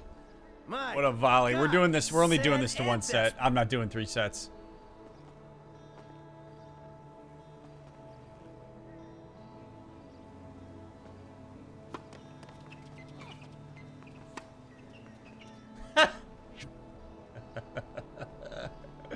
Ah.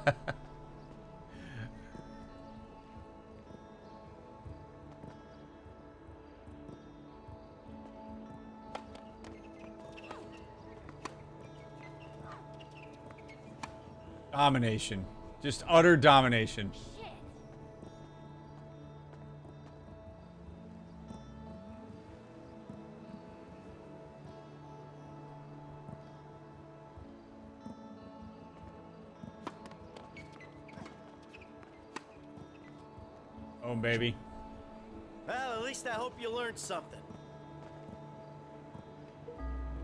Wait a minute. Are we really doing seven games? Are we doing seven game sets? Oh my god. Yeah, no way.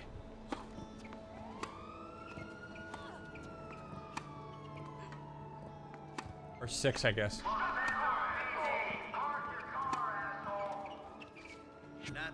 Boom.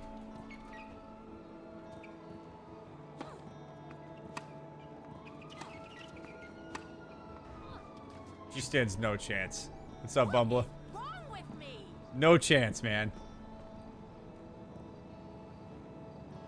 She's gotten what, like one?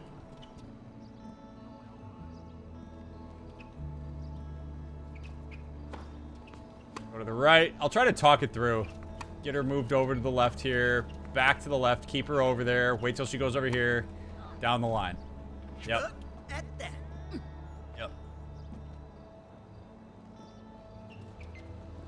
And I'm going to return it to the left. Keep her over there. Go cross court. Go back across. She's got, yeah, no chance, man. I mean, got the old magic. This Easy peasy. all all right, there's the set. So it's six, okay.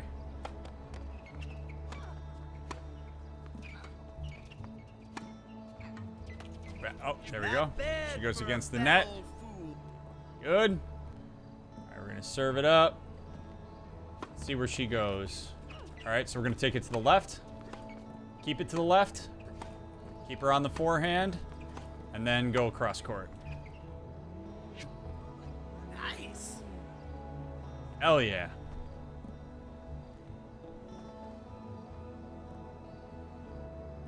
See, all right, so we, she brings it, okay. Keep her on the left on the forehand.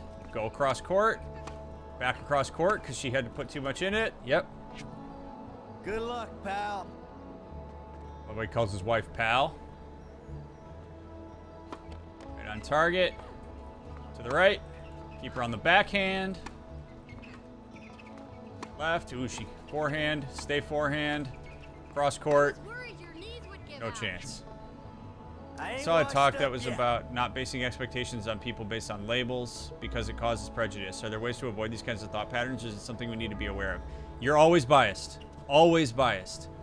Be aware of your biases. Understand the way that your biases affect the way that you interact with certain groups of people so that you can do better and so that you can be more in control of how you interact with them instead of reacting to your biases. Oh, take a look at that.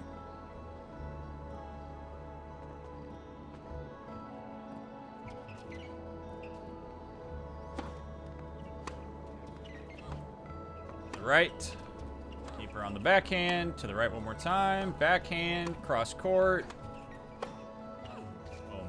Not bad for a fat old. I was away, so I might not have heard your responses. Being cynical or nihilistic or doom or negatively affect mental health. It depends on the person. Uh, cynicism can be healthy because it can be protective. Uh, nihilism can also be health uh, can also be healthy depending on which form of nihilism you're going to take on.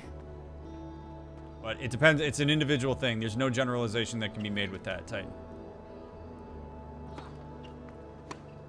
Yeah, hybrid. I mean, uh, biases are important to understand and to accept, well, not to least I hope accept, but to like something. to to have insight into. Oh, I'm feeling good about It gives you more one. control over the way that you bring yourself into interactions.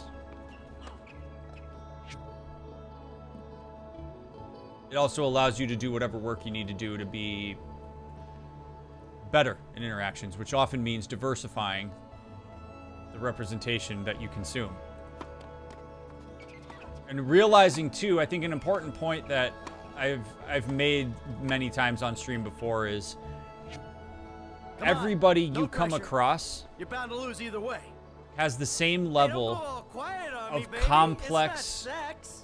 God damn it, has the same level of complex past that you do. That has led up to that given moment, and you have no way of knowing all of it.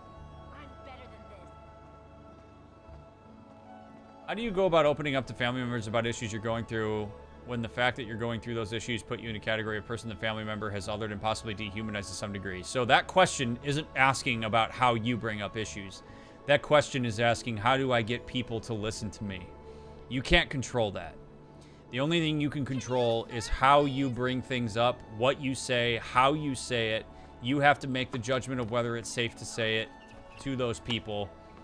Uh, I don't believe people are entitled to know your issues, and if you're if you've had enough experiences Still with people got the old magic. that they've shown you over time that they're not willing to hear you out or listen or engage meaningfully with you, then it may mean that you need to go elsewhere for that support. But you can't control other people and how they hear you. You can only control what you say and how you say it. And those questions are always interesting to me because you're trying to control for something that really like I mean you can certainly influence the way certain people react to you based on how you bring things up, but you have to hold people accountable to their responses to you. Uh, I, I mean, I like to give people the benefit of the doubt, but also give yourself the benefit of the doubt Look at that.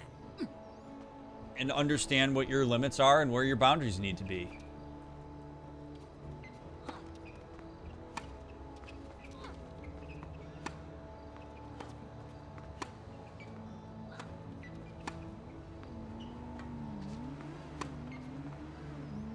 You make it too easy, man. You make it too easy. it. This is good. This is a nice little point of conversation for all of us. By the way, I, I I appreciate you guys hanging in there and watching this tennis. I hope it's compelling in some kind of way. I don't know. I mean, tennis is an exciting sport to watch, in my opinion. I ain't washed up yet. Watching the Australian Open this year was incredible. Nadal, Nadal's win on that. I stayed up so late watching that.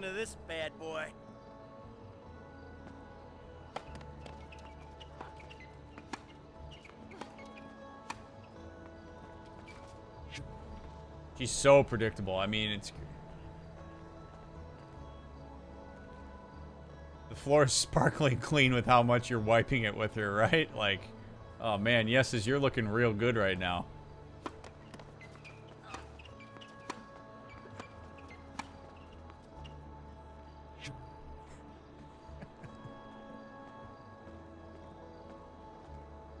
I wish I could multitask like you. You going into detail with questions while kicking her ass. yeah, hit me with questions. Let me. I'll talk. I'll talk about mental health while I smash this tennis match into oblivion. Not bad for a fat old fool like me. You have any good advice for handling a five-year-old? Oh God, uh, that's a little too broad for me, Charlie. I mean, understanding most of their behaviors developmentally is a super important thing. But I mean, I Well, at least I hope what five-year-old are we talking about? I mean, that that's that's a little too hard for me to answer, friend. Sometimes it's hard to really acknowledge, for whatever reason, the fact that I have no control over how they'd ultimately go. So I'm currently trying to figure out what approach, is, if any, is worth it for me. Yeah, and that's an important endeavor. But remember, yeah, you control your engagement, you control your boundaries. Gonna do a full Monaco race while doing a Q&A? Boy, that would be tough, Brian. That would be a hell of a challenge.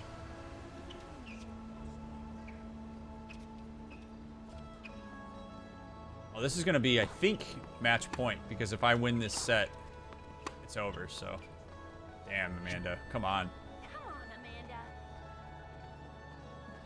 They're five, you don't.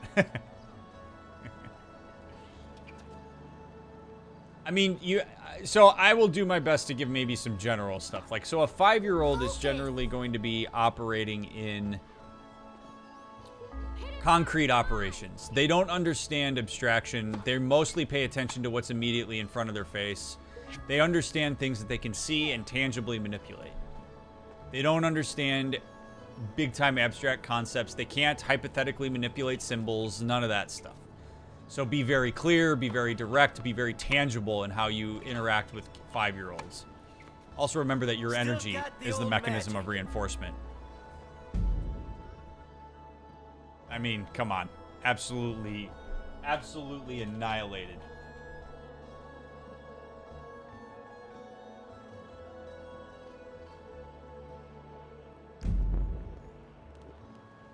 Back in my suit. Drink some of that junk energy drink. I can't believe you won. I can. That was great. You gonna drop me or are we gonna do something else? I'm gonna drop you off. I got shit to go do. What's up, King? I am on Twitch for live streams uh, completely.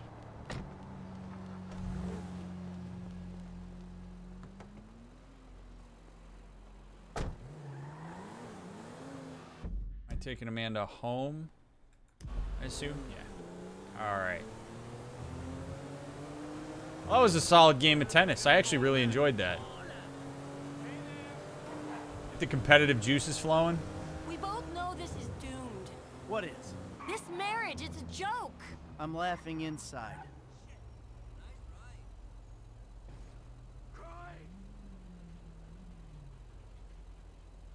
Okay. That's it? I don't even recognize you anymore, Amanda. I see, I look into your eyes. I see the shell of the woman I once married. And that's because the eyes that I have are shells of the man that I once was.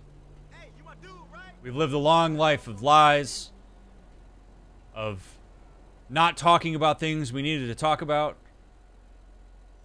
It's been really difficult. I haven't been fully honest with you. You haven't been honest with me. We've acted out to communicate to each other instead of communicating clearly and concisely. We haven't recognized when our brains are activated, when our past is coming to haunt us, when the things that we're interacting about aren't about what's happening in the moment, it's about what's happened leading up to that moment. We've both projected onto each other. We've both made assumptions about where the other one was coming from. We've both focused a lot more on how we've engaged with each other rather than how we've responded to each other. I, I mean, I'm at fault at that.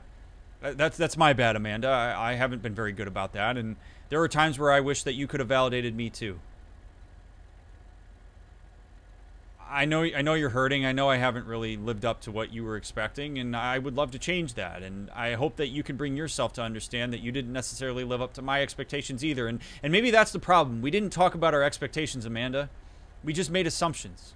We had a whole bunch of experiences that misaligned with those expectations, and instead of talking about it, instead of reconfiguring them, instead of saying to each other, "Hey, here's what we're working with. Here's what I expect," we just got defensive. I don't know if this marriage is doomed. It, it might be if that's if that's really where you're at. And I mean, if you're out, then you're out. But I miss you. I guess that's what I'm trying to say. And I've done a lot of talking to Dr. Friedlander. I realized that my anger, my responses to my anger, has really pushed you away and pushed all the other people away in my life. And I, I, I need something from you, Amanda.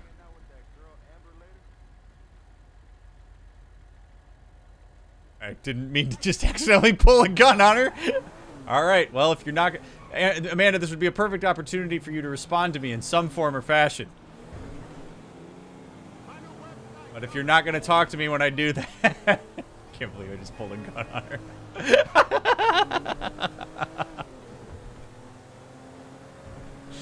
well, I tried. Thank God I didn't shoot her. Where am I dropping you off at, honey?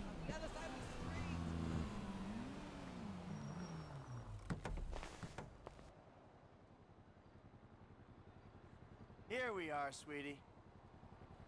Hey, that was great. Let's do that again. Still nothing? Not going to respond to what I said to you? Okay. Well, I'm going to go steal a pest control van then.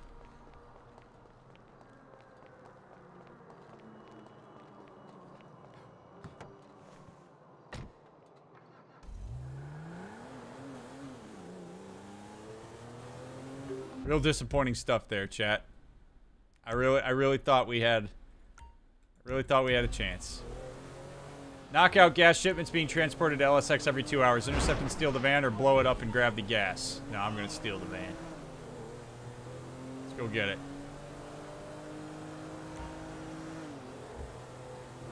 By the way, a lot of what I said there is legit what I would imagine that it would be important for Michael to say to her. Like that is that is how you lay it all out there in an effective way. Okay, asshole. Oh shit! Oh shit!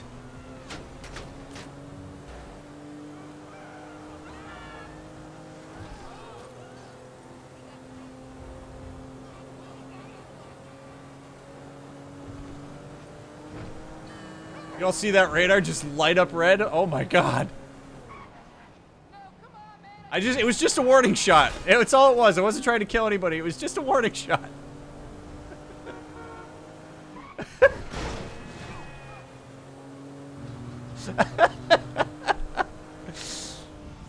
I don't want to be an alarmist, but you just ran four red lights. Also, Juice, I saw your message earlier. I do believe that if you and I were to ever do a heist, I think we'd be a good team. I really do think we would be good teammates. That was a little intense there, though. I, I, I understand if nobody wants to roll with me after how unhinged I just became after one guy cut me off in traffic. After I've cut off numerous people.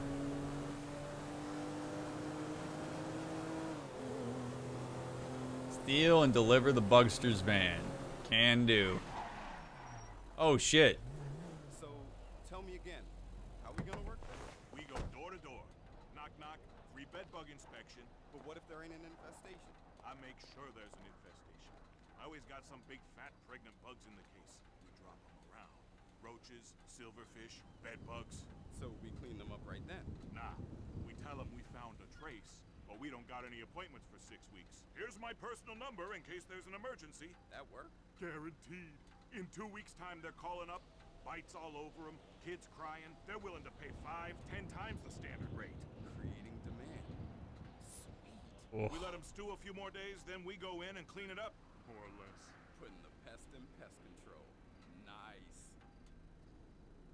Okay, so kind of the same deal. First of all, Charlie, thank you for the 10 more gifted subs, man. I really appreciate that. Very kind of you to do. This is the kind of stuff, man. People freak out about these things. Does this stuff happen? Sure. But if I'm a pest control, I, I understand it's all satirical, it's all extreme. I, I understand what Grand Theft Auto is, but like, this is one of those things too where you're like, holy shit, that's that's scary that people would even think of that. You just got four rounds through your windshield, but the true tr crime was you running the red lights. Yep. Where's the name Dr. Mick come from? So my uh, one of my best friends told me that I play golf like Phil Mickelson, which is true. I go for broke on every shot. And my username for a long time was Mickelson, which is an integration of my name with Phil Mickelson's name. And when I decided to stream on Twitch, I needed to make sure that Doctor was in the name, and I also wanted it to be like clear and concise. And so Mick was a way that Mickelson has been shorted for a long time, and so that was what we went with. I just said Dr. Mick, nice and nice and clear, nice and concise.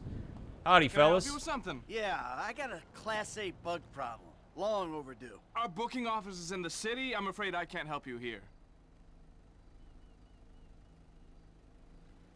Um, I don't know if you smell those chems, but if you do, the damage is already done. I'm just inspecting. OSHA inspections. The warehouse is off limits to the public. Not to OSHA. I'm sorry, but you can't be in here. What are you gonna do about it, buddy?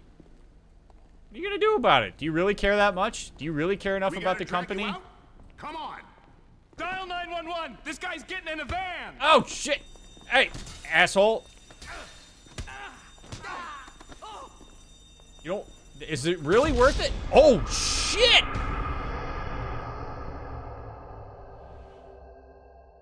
Pest control throwing haymakers.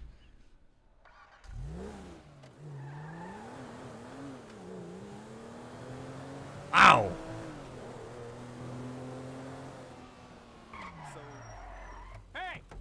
No vehicles blocking. He's got a weapon. That guy's armed. You should be afraid. Yeah, see? You're afraid. Good.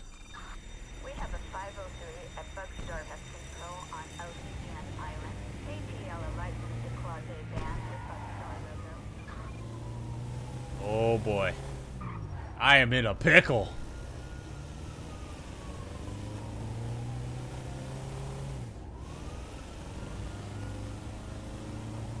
Brilliant. Brilliant.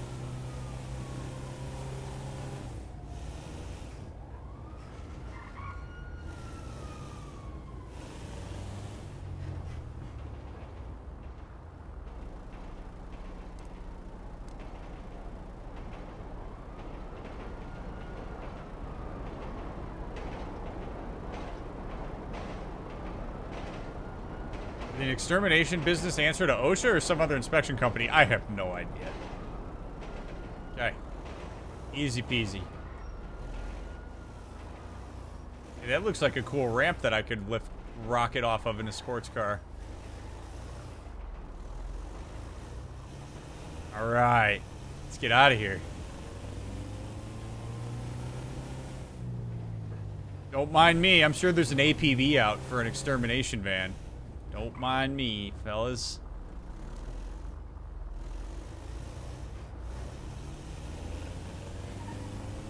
I'm not going to draw any attention to myself and put my high beams on.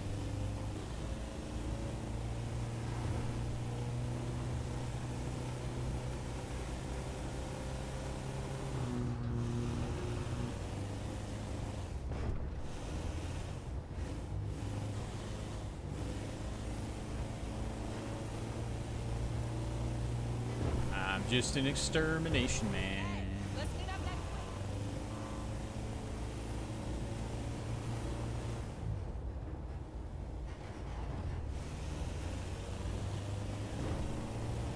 Sound design in this game is perfect.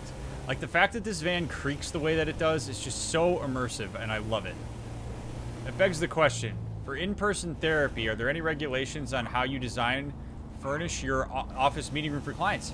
So yes, there are. You have to soundproof your rooms. You are you have to make sure that your waiting room is uh, isolated out from the appointment rooms. You have to make sure that nobody can hear anything that's going on inside the room that you're in. If you have offices that are adjacent to each other, you have to make sure they're properly soundproofed. Um, ideally, you would have an, in, an entrance and an exit that are in different spots so that people can maintain their privacy. Yeah, there's all sorts of stuff that you're that you have to do to maintain privacy if you're in person. Sathron, thank you for the resub. I appreciate that, friend.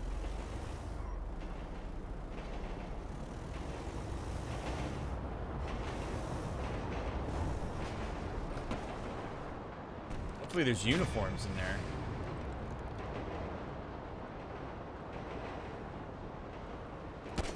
Oh shit. God damn it. Couriers delivering BZ gas shipment at HS. I already handled that. Hey, Lester. We got a pest control van. Good. Now we just need the knockout gas. I'm on it. Okay.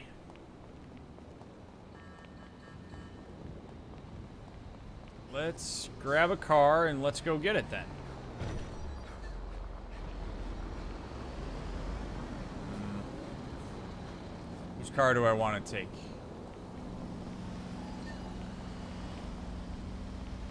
I want to take this car, obviously. Person went in to get gas. Easy peasy. What are you, what are you, what are you doing, Michael? Hell yeah.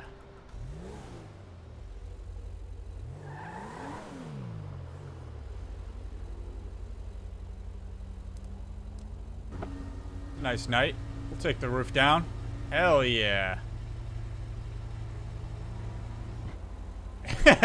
I know, my gun control is terrible. I had the safety off and everything.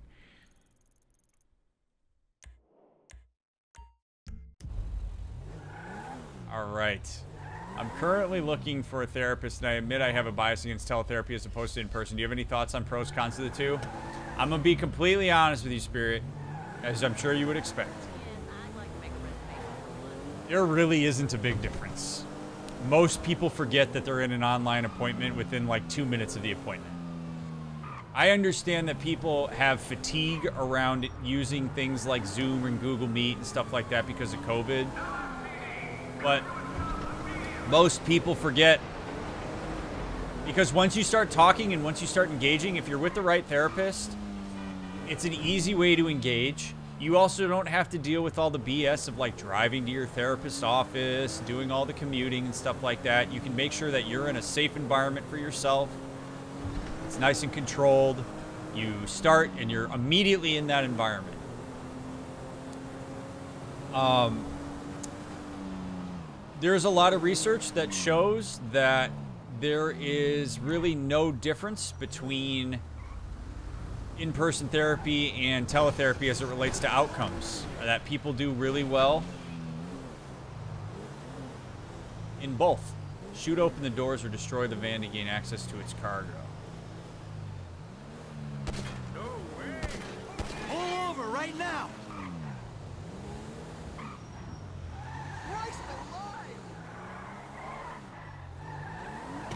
oh don't run that shit over. Hey excuse me excuse me i dropped something shit go go go go go go Ah! See ya. Oh shit. Okay. Rid of the windshield.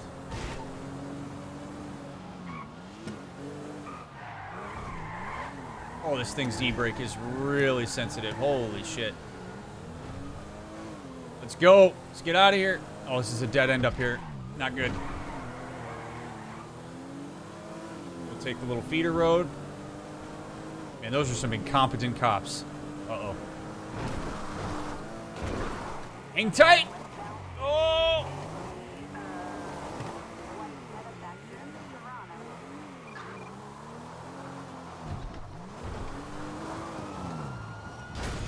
Oh, this is bad. Oh, this is bad. Oh, this is so bad. Let's go! Oh! Oh! of course, nobody's getting gas right now. Go, go, go, go, go.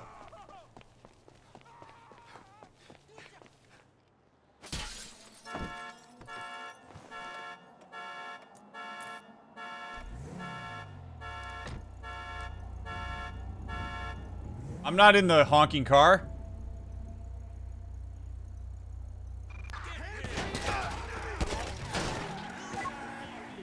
Go attend to your fallen brother.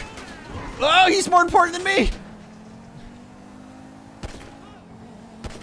Rid of the windshield. Okay.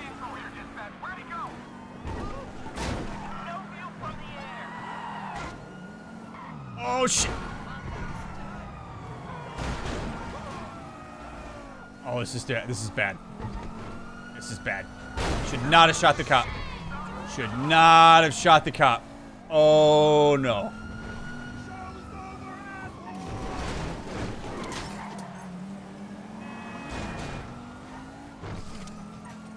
We're gonna lose him on this feeder road up here. Oh, go! Oh man. Oh man. Excuse me, folks. Uh.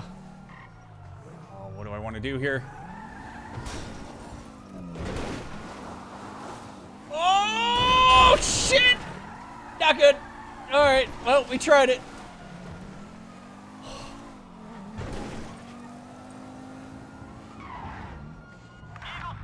It's the car, Michael. Oh. Oh, no. Oh, no, I got a chop right. Oh, this is so bad. Oh, no.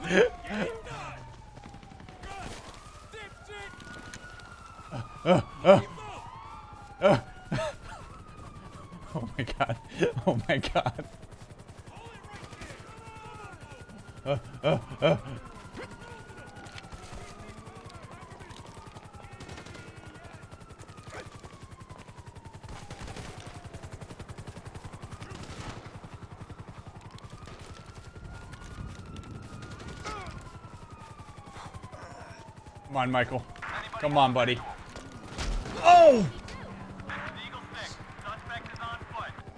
Uh. God. Oh, God. I, got, I gotta get the chopper down somehow, man.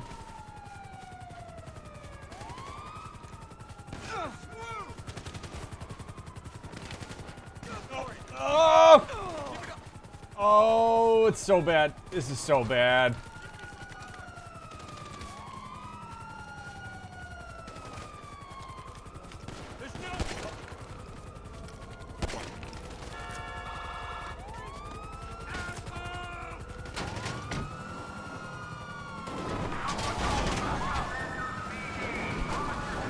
I just have to survive, Chet. I just have to survive.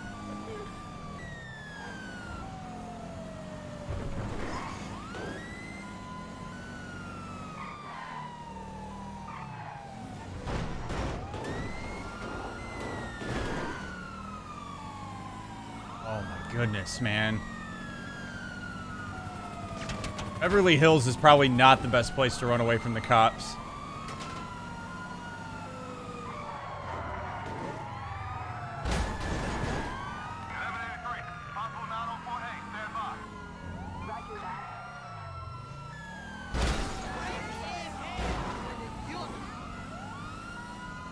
It. I should not have shot that cop, huh? It was a bad idea. There are so many cops in Los Santos, and every single one of them is on me.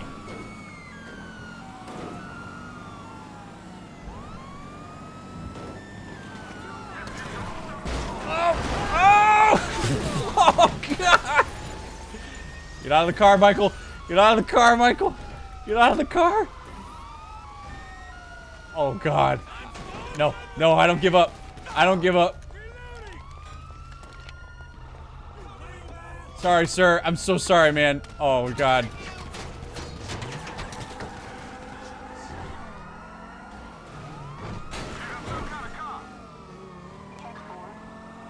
This is the most outrageous police chase.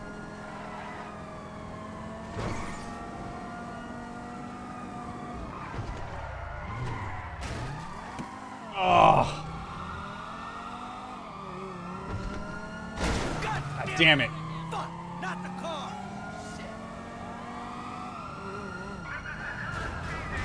Oh, what a cutoff.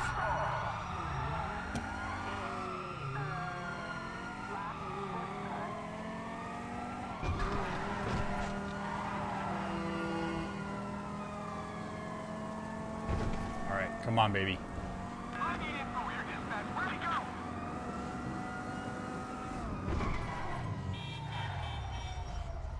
Go, go, go, go, go, go. Put the gun away, Michael. Put the gun away. Oh, oh, oh.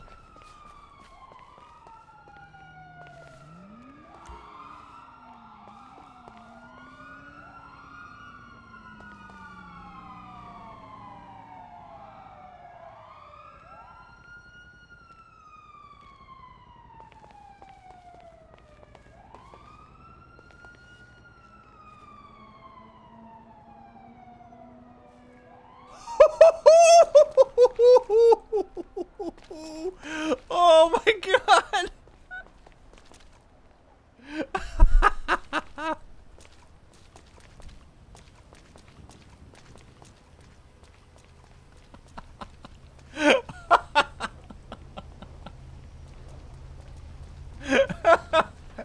oh man.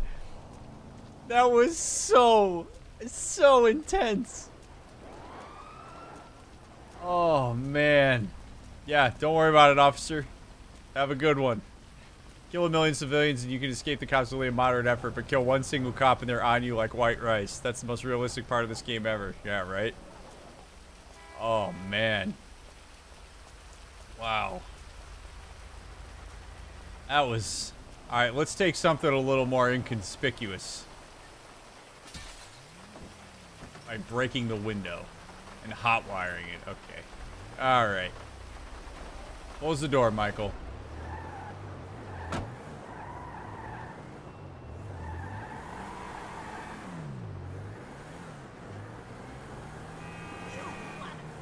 All right, we've got the goods. Good thing I was able to just put those boxes in my pockets and didn't have to use the same car that I picked them up in.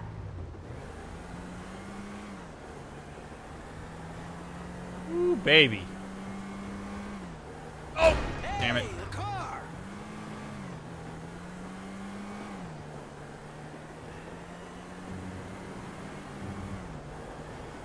Wayne's World vibes are strong with this car. They are indeed.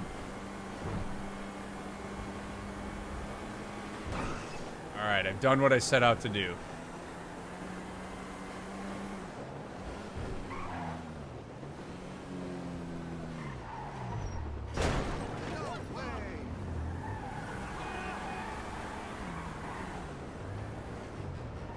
What a nightmare. But we did it.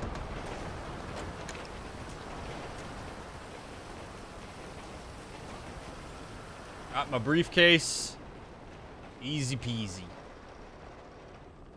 I only had to outrun the entire city of Los Santos for this. Thank you for the three months, Ichibum. I appreciate it.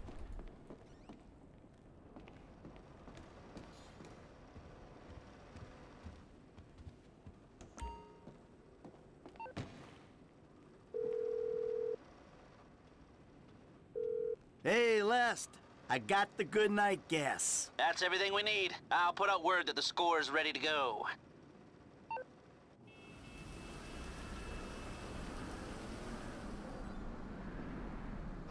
Now we all know why we're here. I'll be right back. I'm going to pee really quick and then we're going to do this thing. All right. We've got a store to take. The plan is simple, elegant.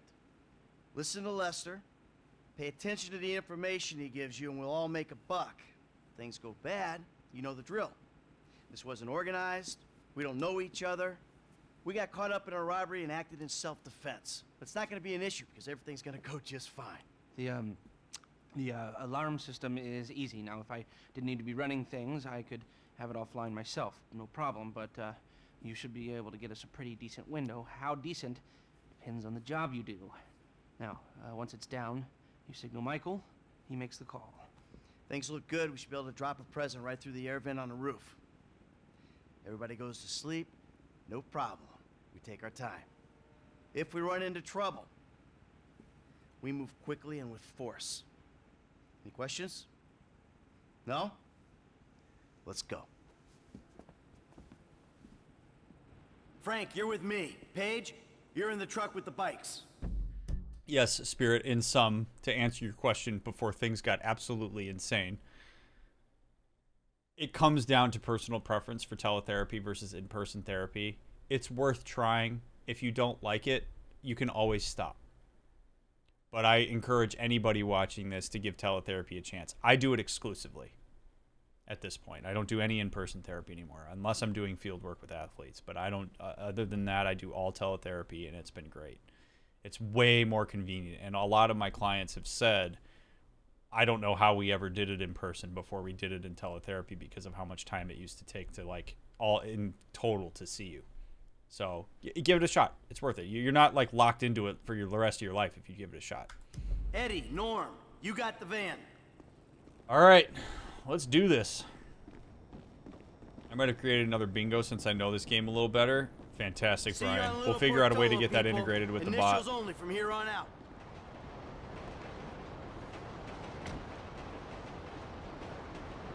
Uh, stu- uh, slugs. So I gotta make sure that I say this. If you are um, engaging in self-harm, which is a thing that people do oftentimes to cope with things that are going on in their life, I definitely encourage you to seek support from a therapist, somebody who's trained to assist you. If you're worried that you're gonna hurt yourself in a way that could be devastating, I encourage you to either go to the emergency room, call 911, call the National Suicide Prevention Hotline or a crisis line, and get some help. People who can listen to what's going on for you. Whatever it, I can't say what it means because I don't know you personally. I don't know the context for that kind of thing. Uh, a lot of people worry that if they call a crisis line or if they talk to therapists or something, they're going to be immediately institutionalized. That's not the case. Self harm is something that plenty of therapists and crisis intervention know how to handle and how to intervene with. help you find a more effective coping strategy. But uh, I'm glad you're here, friend. I appreciate you asking that question. Uh, I've got all sorts of resources in Discord if uh, you need uh, help finding that information. But again, if it's an emergency situation, 911 or local emergency room. If it's not an emergency, you're just kind of worried about what this might mean for you, seek out a therapist if you can, or talk to somebody on a crisis hotline. They can get you in touch with resources. And if you've got people in your life that you trust to be able to talk through that, that can maybe help you out and give you some support around the reasons you might be doing that, do that as well.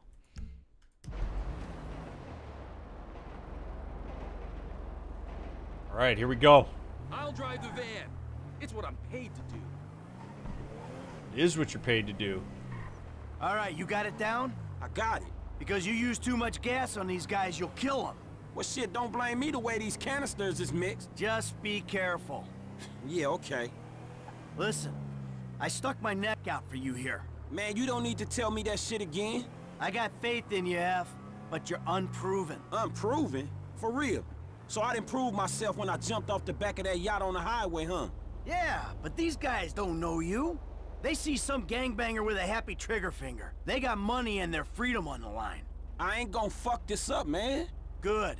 I got enough shit to worry about. Hey, Mike, you worry? Did you pick the wrong people to come along on this? Remains to be seen. We'll have a good driver waiting outside with bikes, and they'll lead you out of there. The hacker should earn their paycheck by getting us longer inside, but the gun? Eh, questionable. Well, everyone in the store is gonna be out. You won't need no crowd control. Maybe, but they're still part of the team. They cost us, I'll regret it.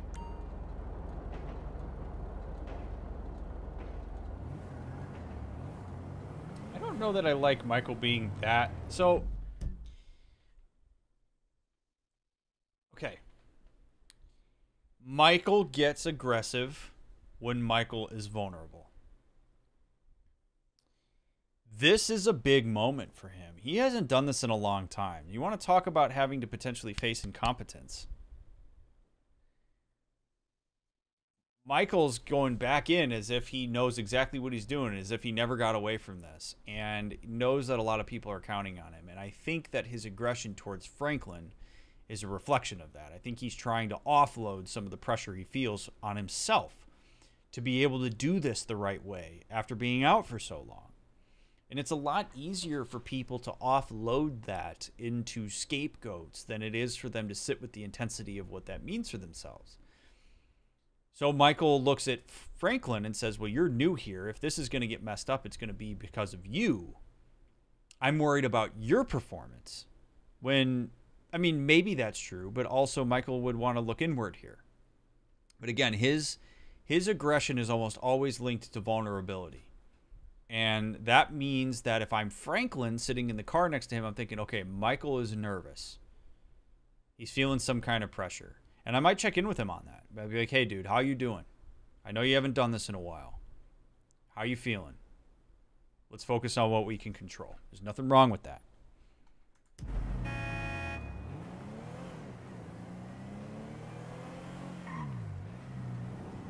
Am I the only one who works for a living? I'm not sure. That's fun.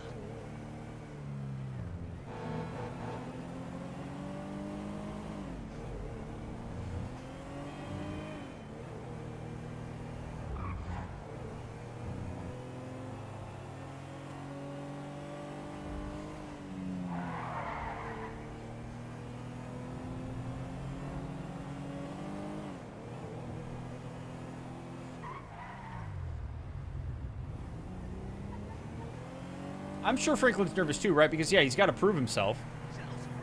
This is a real opportunity. This is what he's been gaming for. So, yeah, they're both nervous, and that's okay. Because a note about performance anxiety here, friends, this is a perfect opportunity for this. I know that, you know, you're not going to be robbing banks and stuff, but if you have something that you need to do, some sort of performance, whether it's for yourself, for others, whatever it may be, something that's meaningful to you. I do a lot of work with performance anxiety. What a lot of people fail to do when they experience uh, performance anxiety is acknowledge it in a proper way. People will either try to avoid or stuff it because they think that if they don't attend to it, then it's not there. Not true. People will excessively seek reassurance from things that they don't need to be seeking excessive reassurance from. which means that their attention starts to get thrown out to areas that are not on the exa- actual things they can control. But they also will sometimes micromanage aspects of their performance that they wouldn't otherwise micromanage as a way to over control. So there's a real push pull between what people focus on.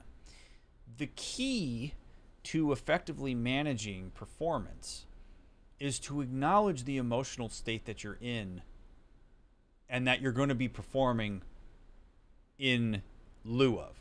Not in lieu of, uh, in reference to or with founded upon.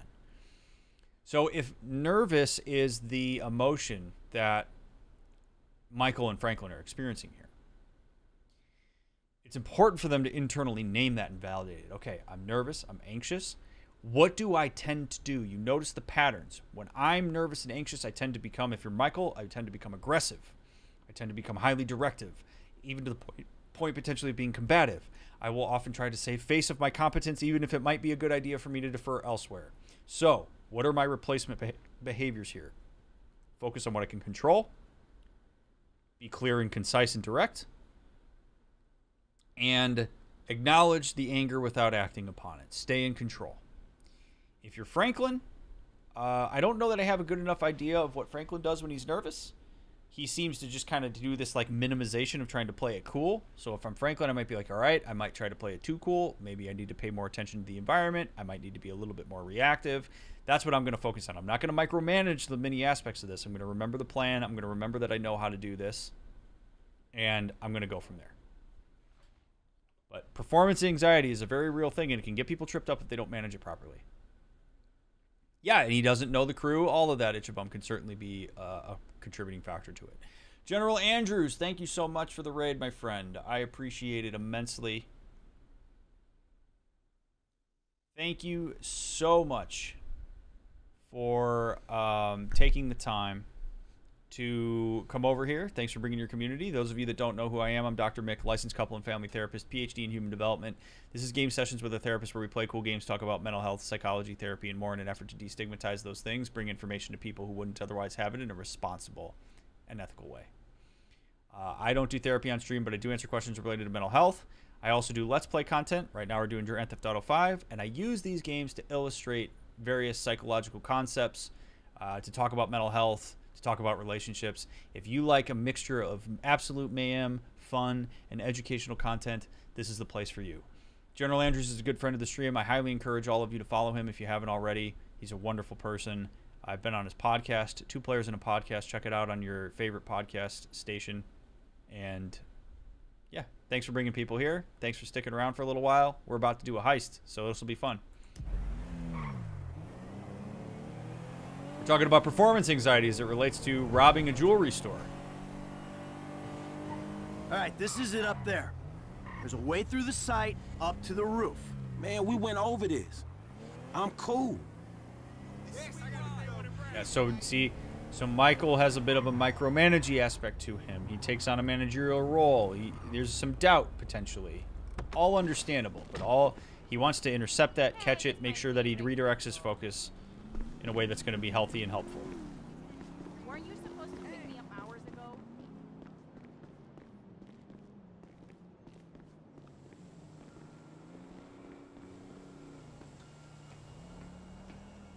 All right, I got a nice little Bluetooth headset. Love that.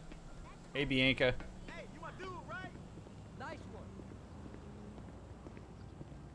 Thank God there's no construction workers actually working on site. I forget something? Franklin, what are you doing, buddy? You coming?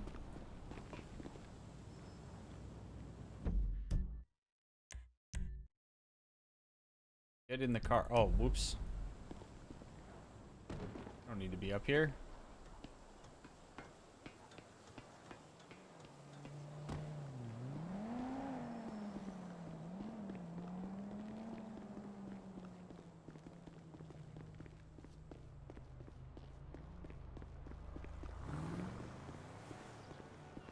In this car? Yeah, what am I what are we doing here? This car is parked where I need to be. There we go. All right, when the gas is in the ventilation system, give us the word. For sure, man. I got it. Right, Franklin dropping that gas. Excuse me, exterminator. Hey, there ain't no one around. That suits us. Come on, get up to the roof. Oh. Hey, shoot!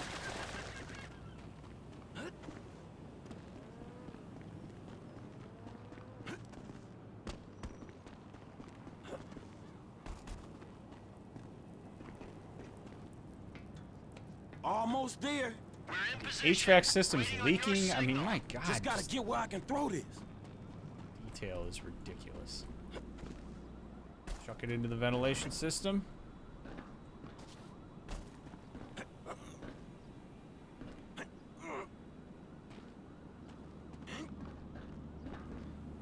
I got an angle.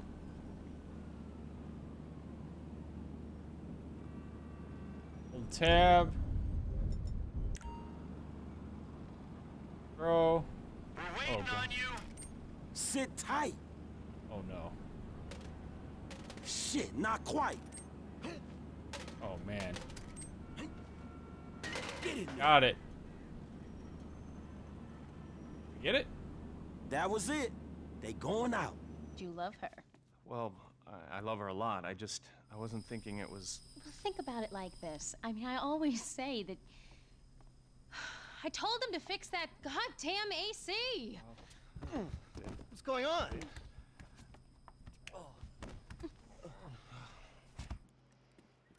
Let's go. Oh, we're just rolling up with AKs? I'm on it. I'm on it.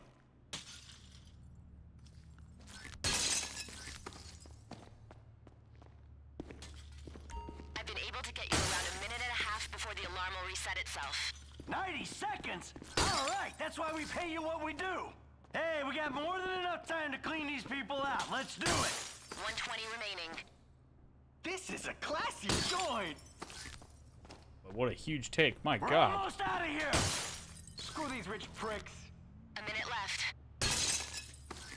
Come on, baby. You guys getting Hey, everything? Can you get your shit together and stop dropping loot? It don't matter if we lose some, right?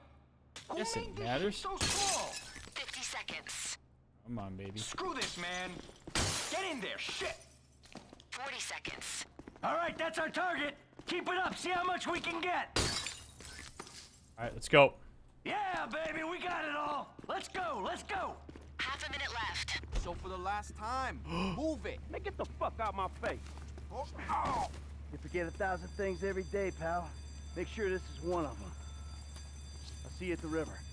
Go. Let's go. Come on. Stay on me. Across here. Let's go. We got a sharp left coming up on Dorset Drive. Push. Let's get out of here.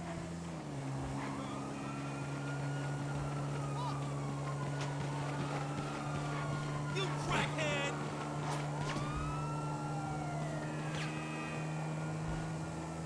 All right, I'm trusting you, bud. We're taking a right here and dropping off the bridge onto the freeway. Shit! He's going out from under me. Now we duck to the right trusting you, bud.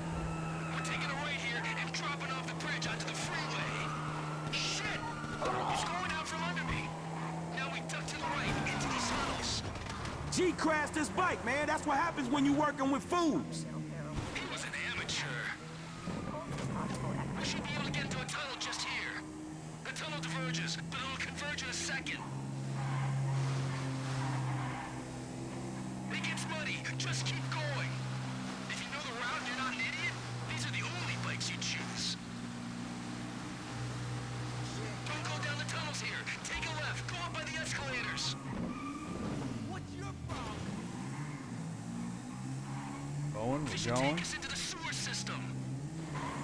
This is crazy.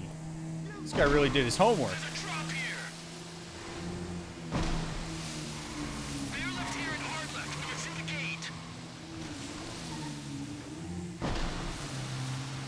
Anybody catch how much money we lost by losing G?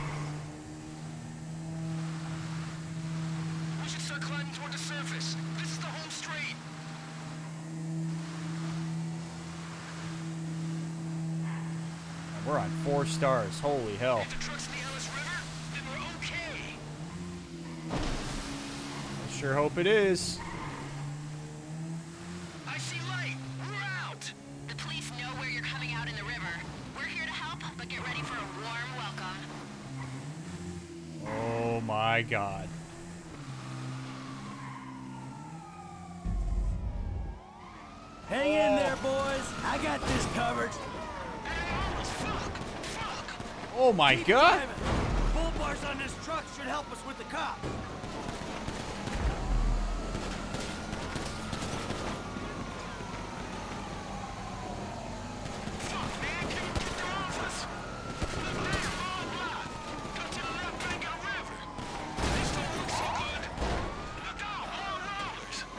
Backup's here. Watch your ass. I could have got out of the truck before we attacked a convoy of cops.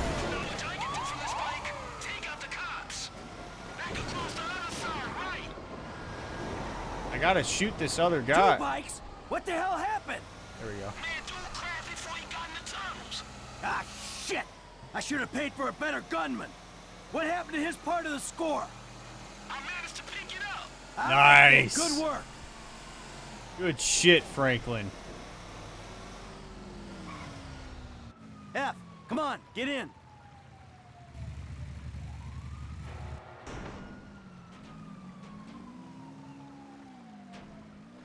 Lester's around the corner at the lockup. And that was that was pretty smooth. There were more cops on me when I took the gas than there was when I robbed the store.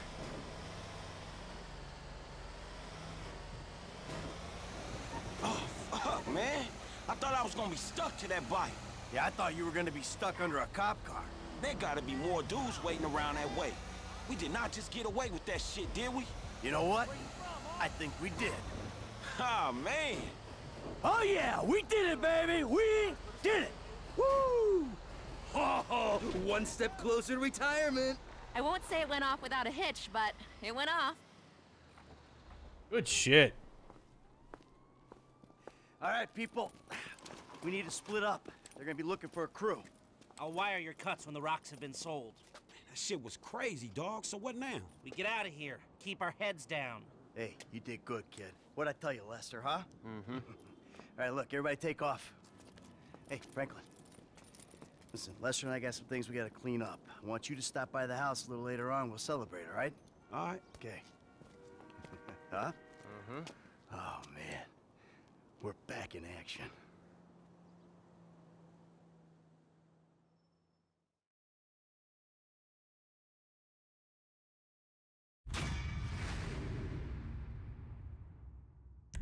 Nice.